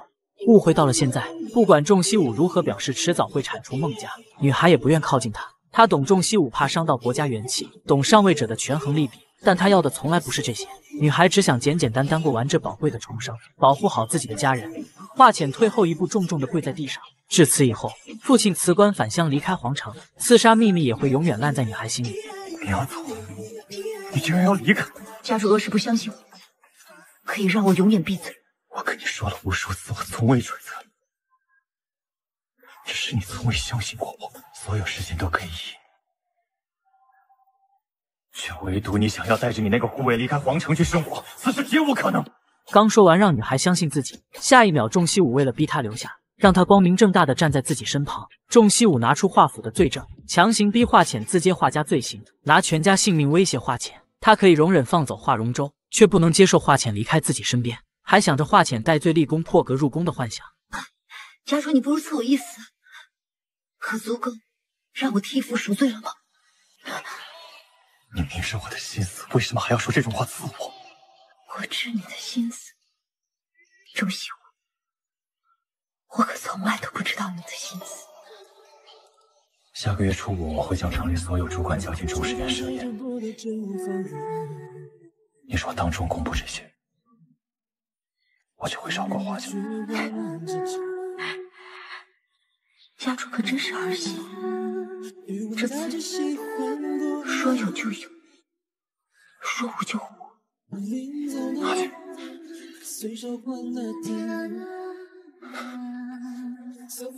家主金口玉言，阿姐，你信不信？我所做这些，只是想让你待在我身边。阿浅，从女孩转身的那刻起，就彻底心死。仲西武看他背影，也是泪流满面。华浅扔掉了那个香囊，扔掉了仲西武当初送给自己贴身的香药，也扔掉了对他的幻想。男人的动作很快，只是一句话，华容州就回到华府。华浅为他准备了盘缠，嘴上全是不喜他杀过人，让男孩离开自己。现在华家自身难保，翠竹银杏背叛离开，千纸将要嫁人，身边只剩华容州，让他放心不下。现在连我也做不了你的主了，是吗？你之前说要跟我一起离开的，刚才在牢狱也说是接我回来，我都已经相信了。男孩还以为华浅真的是嫌他杀人，面色惨白，赶忙说自己已经改过，还要自断一臂以示真心。说完，立马就要抽剑出鞘。姑娘之前说过，离开了皇城之后，身边就只剩下我一个人了，所以你不要在这里又赶我走。我不愿看到姑娘孤身一人，而我从头到尾也就只有姑娘一个人而已。华浅再一次来到哥哥墓前，带来了华生最爱的酒。女孩泪流满面，内疚不已。这个世道就是如此不公，有的人要杀一个人是那么容易，唯一可以问罪的人却在包庇真正的凶手。所以我就只能拿着那个口说无凭的消息，去给华家换来最大的利益。我是不是太坏？哥哥，你知不知道？这已经是第二次在我面前重活一世。华浅单纯的以为疏远家人就是保护他们，结果哥哥还是死在了自己眼前。女孩暗暗起誓，她一定会让恶人得到应有的报应。华浅一杯一杯就这么喝了下去，直到趴在哥哥杯前神志不清。姑娘，哥，哥。女人重活一世，小心翼翼，却走投无路，生生被皇上逼反。既然仲西武不肯放自己离开，华浅也不会让男人得逞。他不仅要保住华家，还要为哥哥报仇。第一步就是约出笑面虎，眼前的女人还是那般虚伪阴险。妹妹看着好生冷漠，这几日也是不怎么理我，怎么，是遇到什么事了吗？你不要再玩这套姐妹情深的把戏，平白让人错。家主对荔枝花蜜过敏一事，孟姑娘莫不是忘了吗？我是当真不知晓。今天这么演戏不累吗？究竟是因为何事，你对我动了杀心？怪就怪你自不量力。你既耍手段得了祝夜兰，又何必来招惹家主？你若是个清白之身，我自然不会插手。怪就怪在你是一个弃妇之身，还妄想自己不该得的东西。你气的不就是因为只要我想要，就能轻而易举的将你踩在脚底下吗？众家主母的位置，我告诉你，这一次的你绝对不可能再坐上那个位置。你应该感谢我，谢谢我高抬贵手放我。我根本就不想要这众家主母的位置，可是你却偏偏这般对我，我可差点就要把你的恐惧变成了现实。贱人！笑面虎被揭穿了恼羞成怒，一言不合就要攻击华浅，谁料女孩侧身避过，他反而一个踉跄摔倒在地。怪就怪在他太过自负，一个下人都没留在身边，华浅轻易的将他踩在脚下。你竟然敢这样对我，一会儿就是家主也护不了你！你信不信，今日不论我做什么，仲西武都会压着不追究。你别以为你的混蛋哥哥替你挡了一刀，你就可以安然无恙了。有一天，你们华家人一个一个都没有好下场！笑面虎狗急跳墙，反过身来还要掐华浅脖子。女孩心中戾气再也压制不住，一把将他推到假山上，划伤了那张伪善的脸。笑面虎一声尖叫，直接晕了过去。华浅毁了后宫女子最为珍贵的东西，一道伤痕还化身一命。要不是自己后续计划要保住华家不能杀他，华浅还真不想这么便宜他。而仲西武就算知道了现在发生的一切，也会帮自己压住。做完这一切。华浅开始第二步，女孩起身跪在大殿中央，不顾众人诧异的眼光，将画家罪证捧在头上。一年前，慕云平坚守自盗营，实则是被画家构陷。全场寂静，众人面面相觑，从没见过如此狠毒的白眼狼，竟然举报自己的亲生父亲。慕瑶也是一脸震惊，明明自己说过放过画家，为何华浅今日会这样做？他没有对华浅落井下石，面对仲西武的提问，也表现自己全然不知。父亲淡然的看着自己的女儿。什么都没有说，坦然承认了这一切。我认罪。仲西武慢慢将戏演完，现在才是华浅准备已久的时间，场面终于失控了。我知你向来明事理，果然我没有看错。你此番大义灭亲，实属女子表率，我不会迁怒苛责于你。在众士眼里，西武，他从头到尾对此事毫不知情，实则为我所累。此事竟是由我一人嫉妒之心而起。此前我因心悦大言，心思狭隘，容不得旁人，以小人之心忌惮慕瑶，并不惜出此恶毒诡计铲除穆家。你在胡说什么？此事大爷和慕瑶皆知，他们宽宏大量，既往不咎，而我手握自己过去曾经的罪证，实在难安，终是难逃内心谴责，所以今日特来请罪。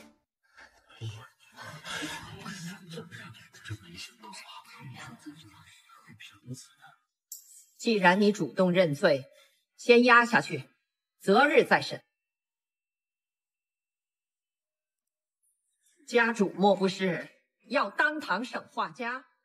这才是华浅的最终计划，以己之身替父赎罪。他既要为兄报仇，还要保住画家。就在女孩进宫之前，他已经安排好一切后事，和母亲和好如初，和父亲坦诚以对，亲口听他承认父亲和武硕墨陷害慕瑶一家。劣质沉水香，香方。就是从他那里获取，这是我和他亲自对接，并无第三人知晓。华浅为了自己的计划，详细的让父亲说了一遍构陷穆家的过程。临走时，父亲再一次喊住了他。经历这么多事，他早就看淡了一切，女儿是他余生唯一的牵挂。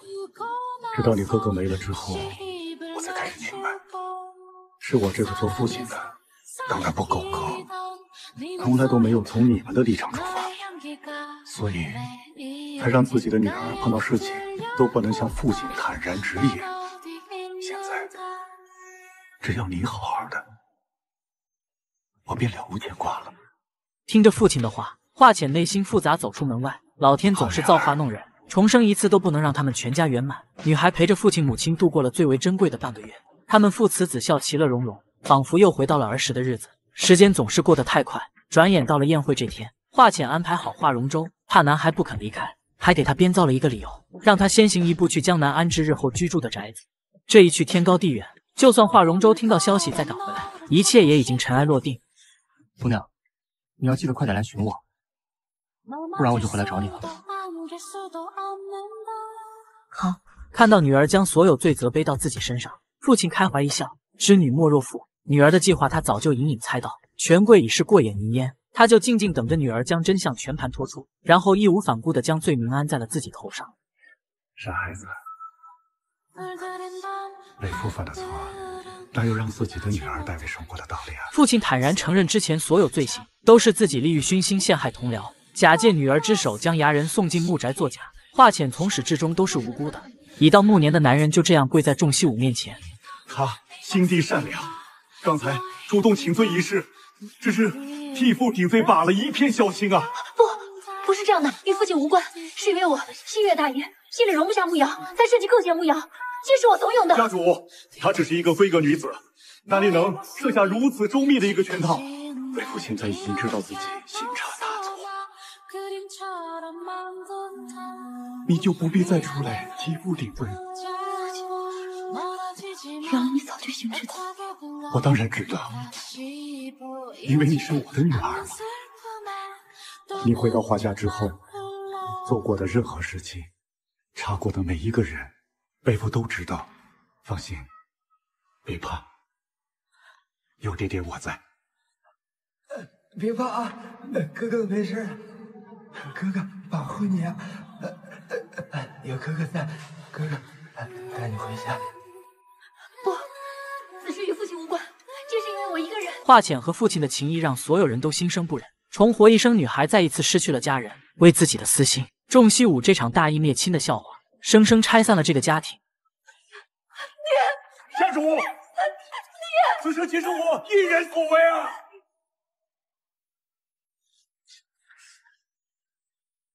这个女人和皇上都疯了，一个在众臣面前公然示爱，一个当着所有人忤逆仲西武。我处心积虑的为你费尽心思将你从华家摘起，你知道我做了多大的努力吗？把我摘起，家主所说的努力，就是拿着我收集出来的罪证，让我去状告我的亲生父亲吗？我力排众议为你证明，把你来我身边的路一砖一瓦全给你铺好，你为何连一步都不肯迈？你可曾问过我是否愿意？你为何不愿？仲西武永远都不明白花钱想要的是什么，他要的是自由，是全家平安，是安安稳稳度过余生。这皇宫太大，人太多，女孩不想在这深宫之中当只金丝雀，和别人分享仲西武。每日唯一的期盼，只剩男人对她的感情可以冷得慢一些。若是日后我站在众家的对立面，家主你还会力排众议的选择保下我吗？家主所在的位置就注定了。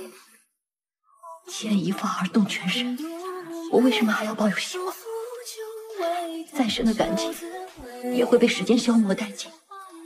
说到那时，我应该如何自处？他身边有太多的人，有太多顾忌，如同这次，明明知道杀害哥哥凶手，却因为种种原因欺瞒化解。你怕麻烦，你怕困难，可你唯独就是不怕我。我在你心中的地位，你到都是第一个被放弃。家主是你选择的，你主动选择保下孟一飞，我给过你很多机会，也许你做的没有错，我知道你肯定有很多不容人反驳的理由，可是楚西武死的那个人是我哥哥。华浅是不愿相信吗？他是知道仲西武永远都做不到。男人做的一切都自认为是护华浅安全，却在无意间让他们的误会越来越深，将女孩推得越来越远。事到如今，他也只能将华浅强行留下。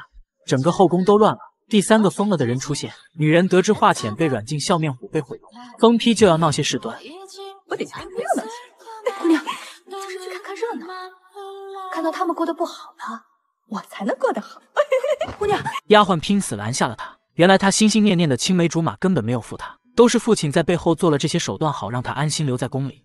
笑面虎醒来，看到脸上长长的一条疤，彻底疯狂，不择手段就要报复华浅。漩涡中的华浅却像个没事人一样，每日读书，不言不语，就在宫中清冷度日。家主是打算把我关一辈子，我要见我爹。现在不行。家主的意思是，要等到给我爹定完罪，我们才能有见面的机会，是吗？你怎么就不知道我这是在为你好？希望家主日后也能明白这句话真正意思。旁人都觉得仲西武是在软禁华浅，只有长公主明白儿子是在保护她，将华家亲眷都保护了起来。家国大事岂能儿女情长？老太太马上也要出手了。果然，没过几日，笑面虎偷偷将消息告诉了二叔孟家，就赶在大殿之上群臣面前向仲西武逼宫。男人高估了自己，低估了仲西武。后宫之事岂容外戚干涉？仲西武怒不可遏，反斥于他，更是扬言要罢了孟家的权。孟一菲所受之伤，只是他自己喝醉跌倒所致。他是如何伤害的孟一菲？那他是为何仇怨而出手？可能说起。我记得师兄一直有治理南方铺子的经验。我现在命令你下月启程，去协助孟老主管治理南方的铺子，为他排忧解。整治了外戚，马上就轮到内宫。笑面虎终于遭了报应，女人被软禁起来，再也不复往日嚣张。你还是重视原力，给我管好你的嘴！我对你们孟家忍耐的已经足够多了，若是你再敢乱提消息出去，借孟家向我施压，那我的忍耐也是有限度的。我的脸都变成这样，家主你就这样不管吗？我入住石原也有些年头了，家主怎么能这样待我？你的脸是如何相反，你自己清楚。你是非得让我跟你挑明吗？仲夜兰身不由己卷入漩涡之中，未免猜忌他不想接权。但画家现在这种情况，男人又不能无动于衷，起身就要进宫求情。慕瑶一句话拦下了他。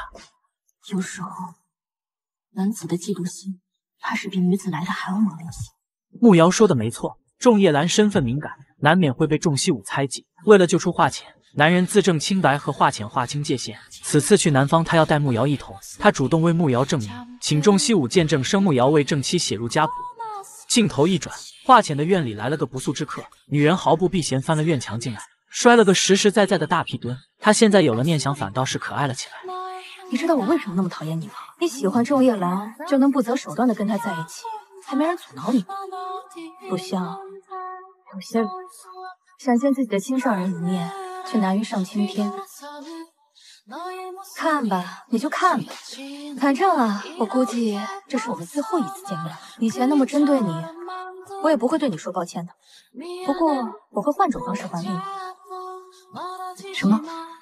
我不告诉你。说完这些话，他就大大咧咧从正门出去，看傻了侍卫，看呆了华浅。而远在江南的华容州，终于在市井听到了华家的巨变，他才明白小姐的良苦用心。男孩心急如焚，就要赶回去。这时进来的人拦住了他。画面一转，武硕墨已是满脸乌青，华容洲被他按在地上。他只是来还华浅当初的人情。我只是欠他个人情。如今不过是来还债罢了。华浅在进宫之前偷偷给武硕墨送了封信，就是为了让他看住华容洲，不要犯傻。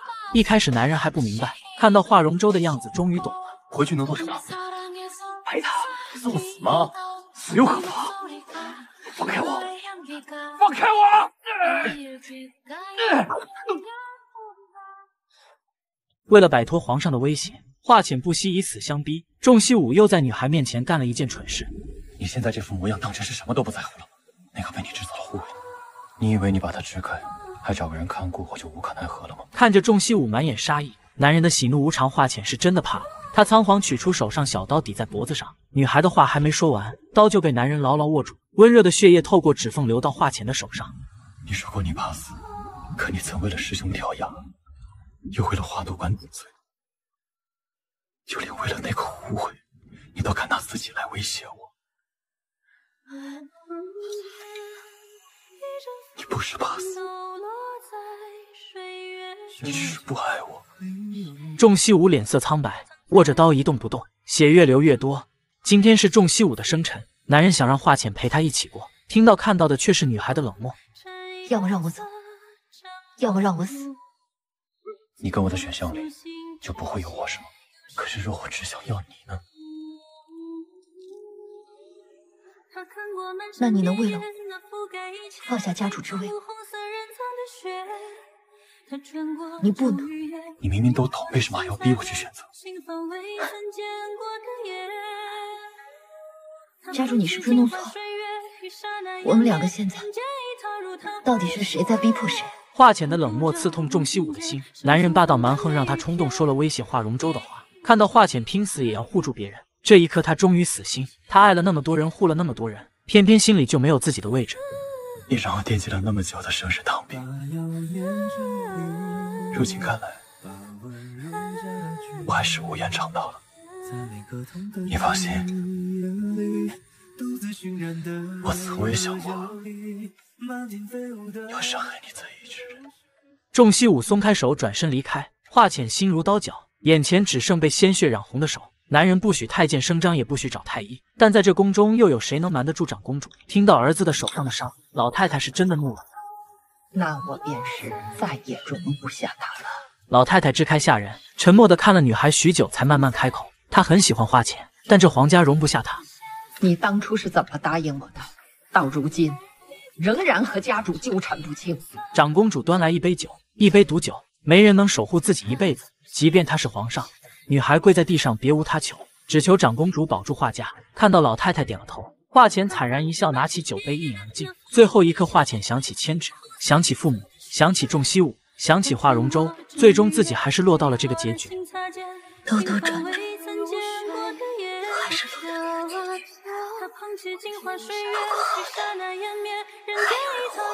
女孩没有看到长公主眼中的水光，也没有看到长公主命人偷偷将她抬走。就连那串化浅送她从不离身的佛珠，也被长公主扔掉了。做完这一切，老太太在院内放了把火，将化浅存在的一切痕迹都抹得干干净净。等到仲西武赶来的时候，一切都晚了。他不顾下人阻拦，疯了一样要冲进火场，崩溃了，跪在地上，泪流满面。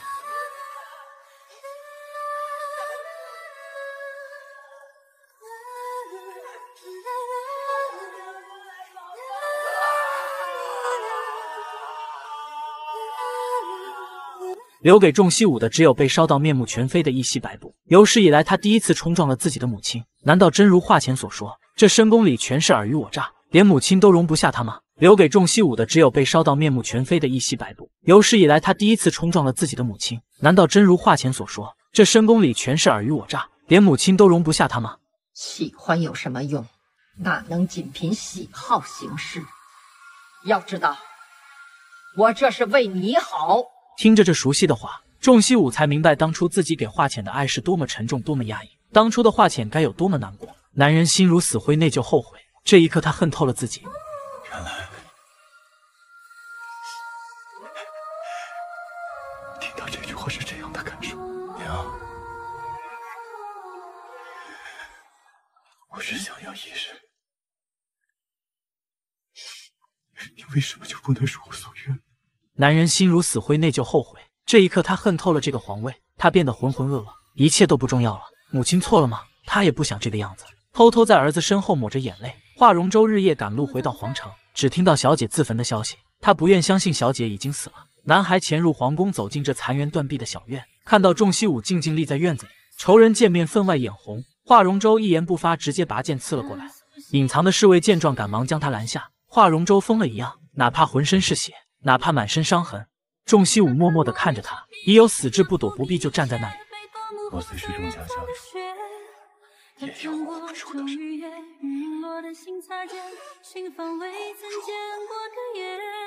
护不住的，为什么？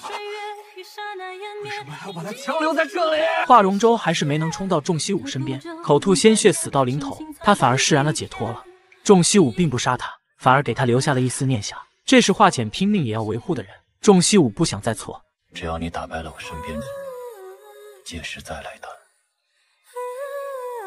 他的消息。有人欢喜有人忧，谁也想不到全剧至此最幸福的人竟然是长颈鹿。到死华浅都不知道，可爱后的长颈鹿为他准备了什么礼物。女人肆无忌惮闯到仲西武的房内，和他做了一笔交易。笑面虎的划伤女人背在自己身上，仲西武保全华浅，放自己自由。你曾经很讨厌华浅，现在为何要对她这么好？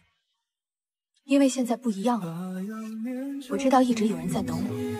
女孩背负骂名，被赶出众士园，娘家也不许收留她，一无所有却也得到了所有。她终于站在了心上人面前。你能养得起我吗？能。我对吃的很挑剔的。我可以给你做饭吃。我对住的也很挑剔。我可以攒钱买房子。我从小什么活都没干过，全都我来做。你什么都做了，那我做什么？你做做的娘子可以吗？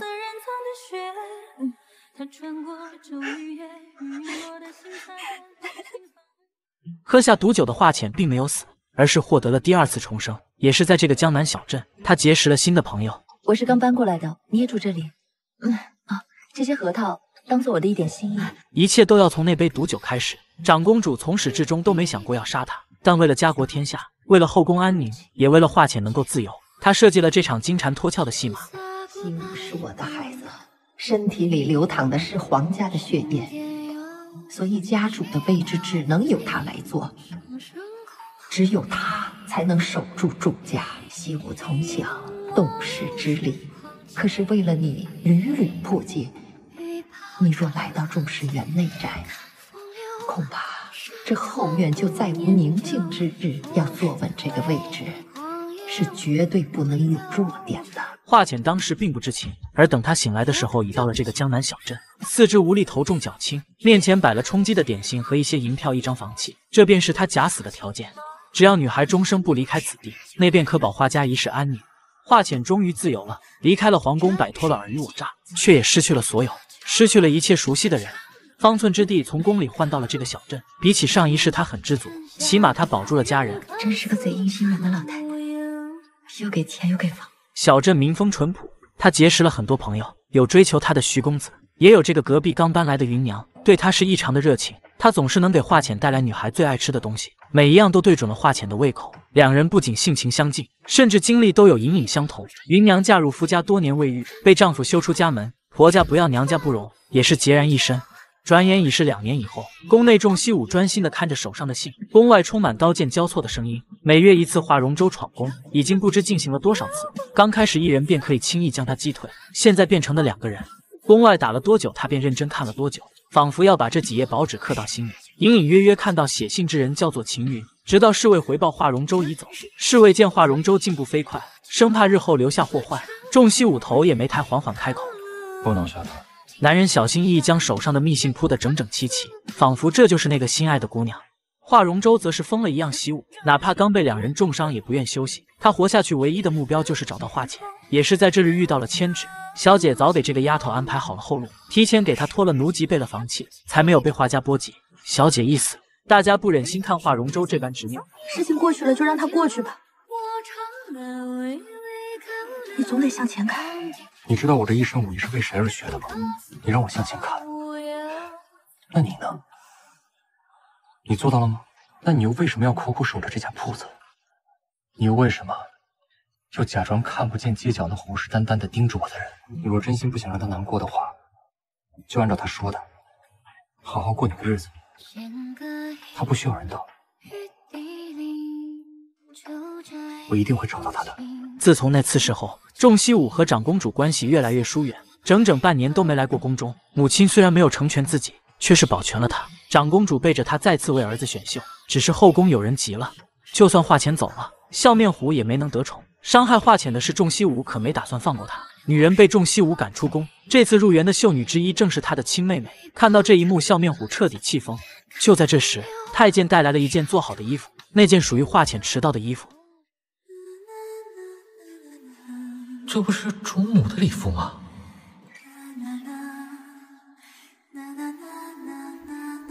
若是她穿上，肯定很好看。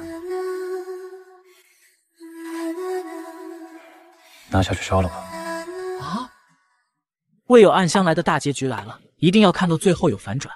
仲西武还是妥协了。木匣里摆着整整齐齐二三十封没有一丝褶皱的密信，男人眼眶通红，亲手将它们一封一封烧掉，也烧掉了最后一丝对华浅的念想。家主若开口，秦云可以随时把人带回来。接回来干什么？再死一次吗？上一次我护不住的，下一次也是如此。这是娘亲自动手告诉我的道理，让秦云回来吧。因为有人会好好照顾的。整整二十六次的闯宫后，一人一剑的华容舟终于跨过侍卫，将剑架在了仲西武的脖子上，却从他嘴中听到了这样的答案：你觉得若是他还活着，我会让他离开我身边吗？如同仲西武没有杀他，华容舟也没有杀掉眼前这个男人。男人收剑转身就要离开，就算仲西武告诉华浅已死，他也不相信。余生的目标就是要找到他。杀了你，他会不高兴的。大不了把这天下翻个遍。你不说，我未必找不到。看到男孩坚定的背影，仲西武终于告诉他华浅所在。华容舟满心欢喜的走了，仲西武却斩断了自己唯一的念想。华容舟已被他磨练成型，他叫人换回了保护华浅的云鸟。也亲手烧了这视若珍宝的一封封信，没人知道他早就拿到了女孩许愿的花灯，无人知所去。愁一两三松，想必他过得很不开心。到了最后一刻，仲西武才学会怎么去爱一个人。既然他想要的是无拘无束的生活，他唯一能做的就是成全。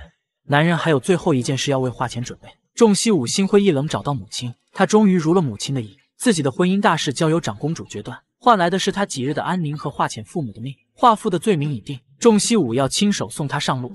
华浅父亲已经老态龙钟的越发明显，子女双亡早有死志。看到仲西武手中的毒酒，他释然一笑。该来的终究还是来了。仲西武在他临死前，终于将真相告诉了他。她是我的女儿，我当然知晓她的一举一动。那你为何不阻止她？因为我也只有这一个女儿了。所以你才会不仅不责怪他，还要将罪全揽到自己身上。原来我曾经逼迫他离开的，是这样的情人。他很好，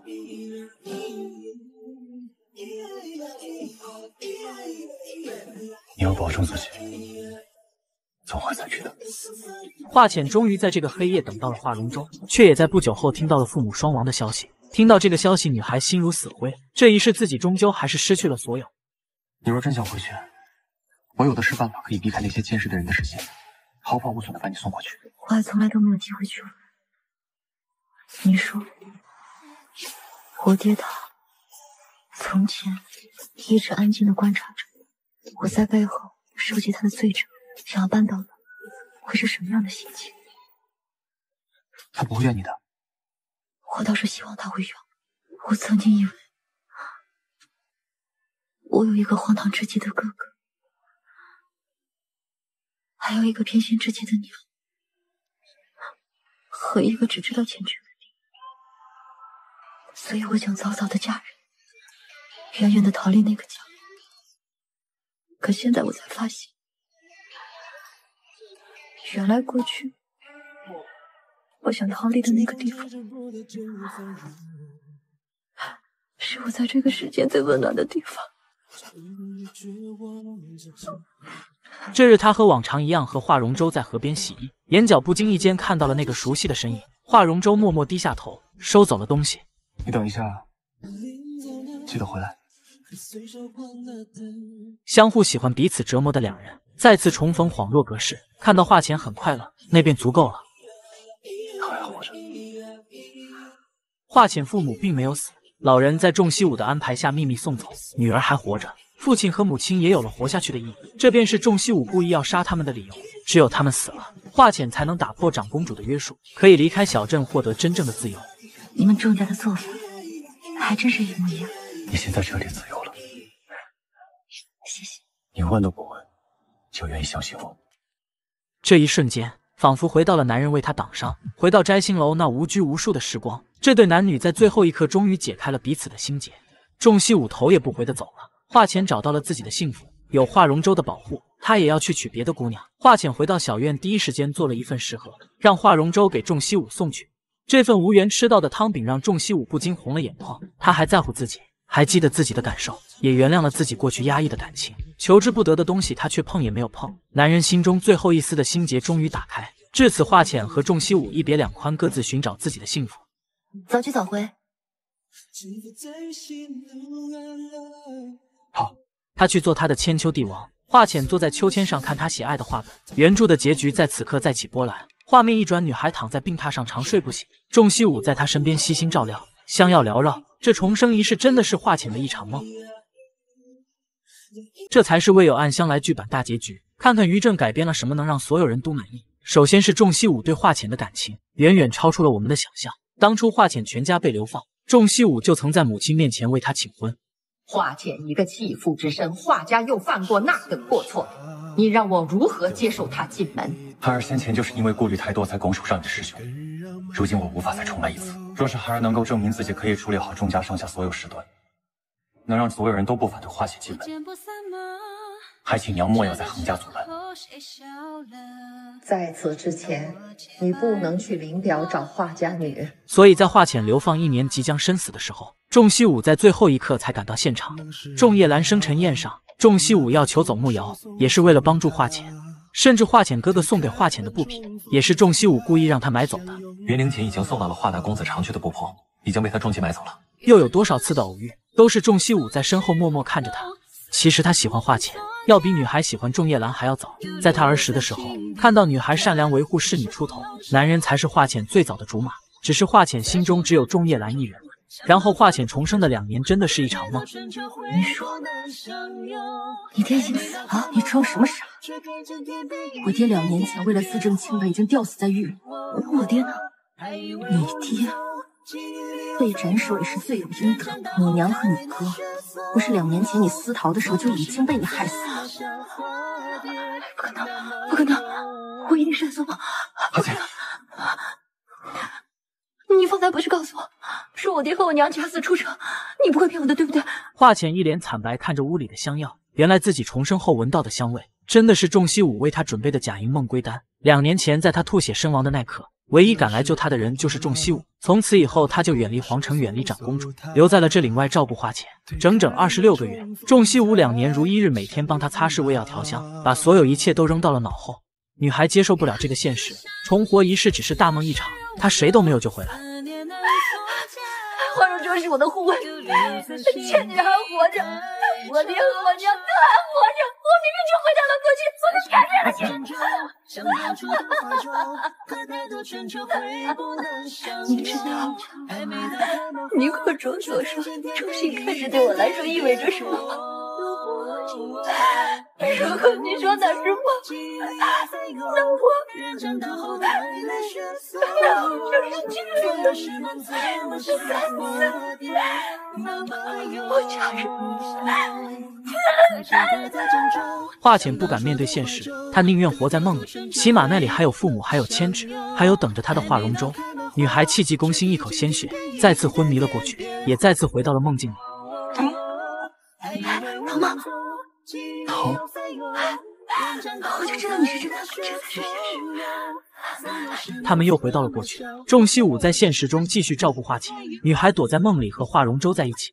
仲西武求仲夜兰唤醒华浅，因为女孩一直喜欢的都是仲夜兰。谁知仲夜兰整整换了一个时辰也没有反应，哪怕木瑶愿意放下过去，华浅也没有任何回应。最后还是仲夜兰的话提醒了仲西武，女孩不愿意醒来，是因为梦里有她想要的东西。仲西武静静坐在女孩身边，第一次说出了自己的感情。只是这里也有人在等你，一直在等你。明明是我们三个自小一起长大，可是你的眼里永远只能看到师兄一人。我总以为等你得偿所愿之后才会开心，现在看来是我错了。如果我从一开始手些顾忌，不去隐藏自己的心意，你是不是就不会落到现在的地步了？我总觉得你应该发现了，毕竟我隐藏的一点也不好。而且，我不知道梦里让你留恋的东西是什么，但那都是假的，只有我才是真的，从始至终都是如此。我等了你二十六个月，每日都在和你碎碎念这些事情，因为我总觉得你在梦里应该能听到一点。我想要告诉你，不要害怕。如果你愿意醒来，我会陪着你面对这一切。曾经在梦里听到过许多的碎碎念，原来不是，可真是让我连睡觉都不得安生。也罢，现在梦该醒了。离别总是伤心的。他告诉了华容州自己要离开。眼前的男孩却一点都不意外，所以这一次我没办法跟着你吗？从姑娘知道华都管和华夫人还活着，却没有让我去寻找他们的时候，我就猜到，姑娘总有一天要走。其实我什么都知道，比如，姑娘喜欢吃核桃，但不喜欢自己剥；姑娘喜欢吃水果，但不喜欢吃不新鲜的；姑娘喜欢晒太阳，姑娘喜欢躺在躺椅上，姑娘不喜欢太安静。也不喜欢太吵闹。我还知道，就算以后姑娘没有我，也一定会过得很好。这才是华容州存在的意义吧。这场梦都是过去华浅失去过的人，都是女孩的遗憾和悔恨。只有华容州是一束光，全心全意、无怨无悔爱了她两年，保护了她，照亮了她，最后也像一束光离开了这个世界。而在现实世界里，仲西武在最后一刻终于等到了华浅的回应。仲西武。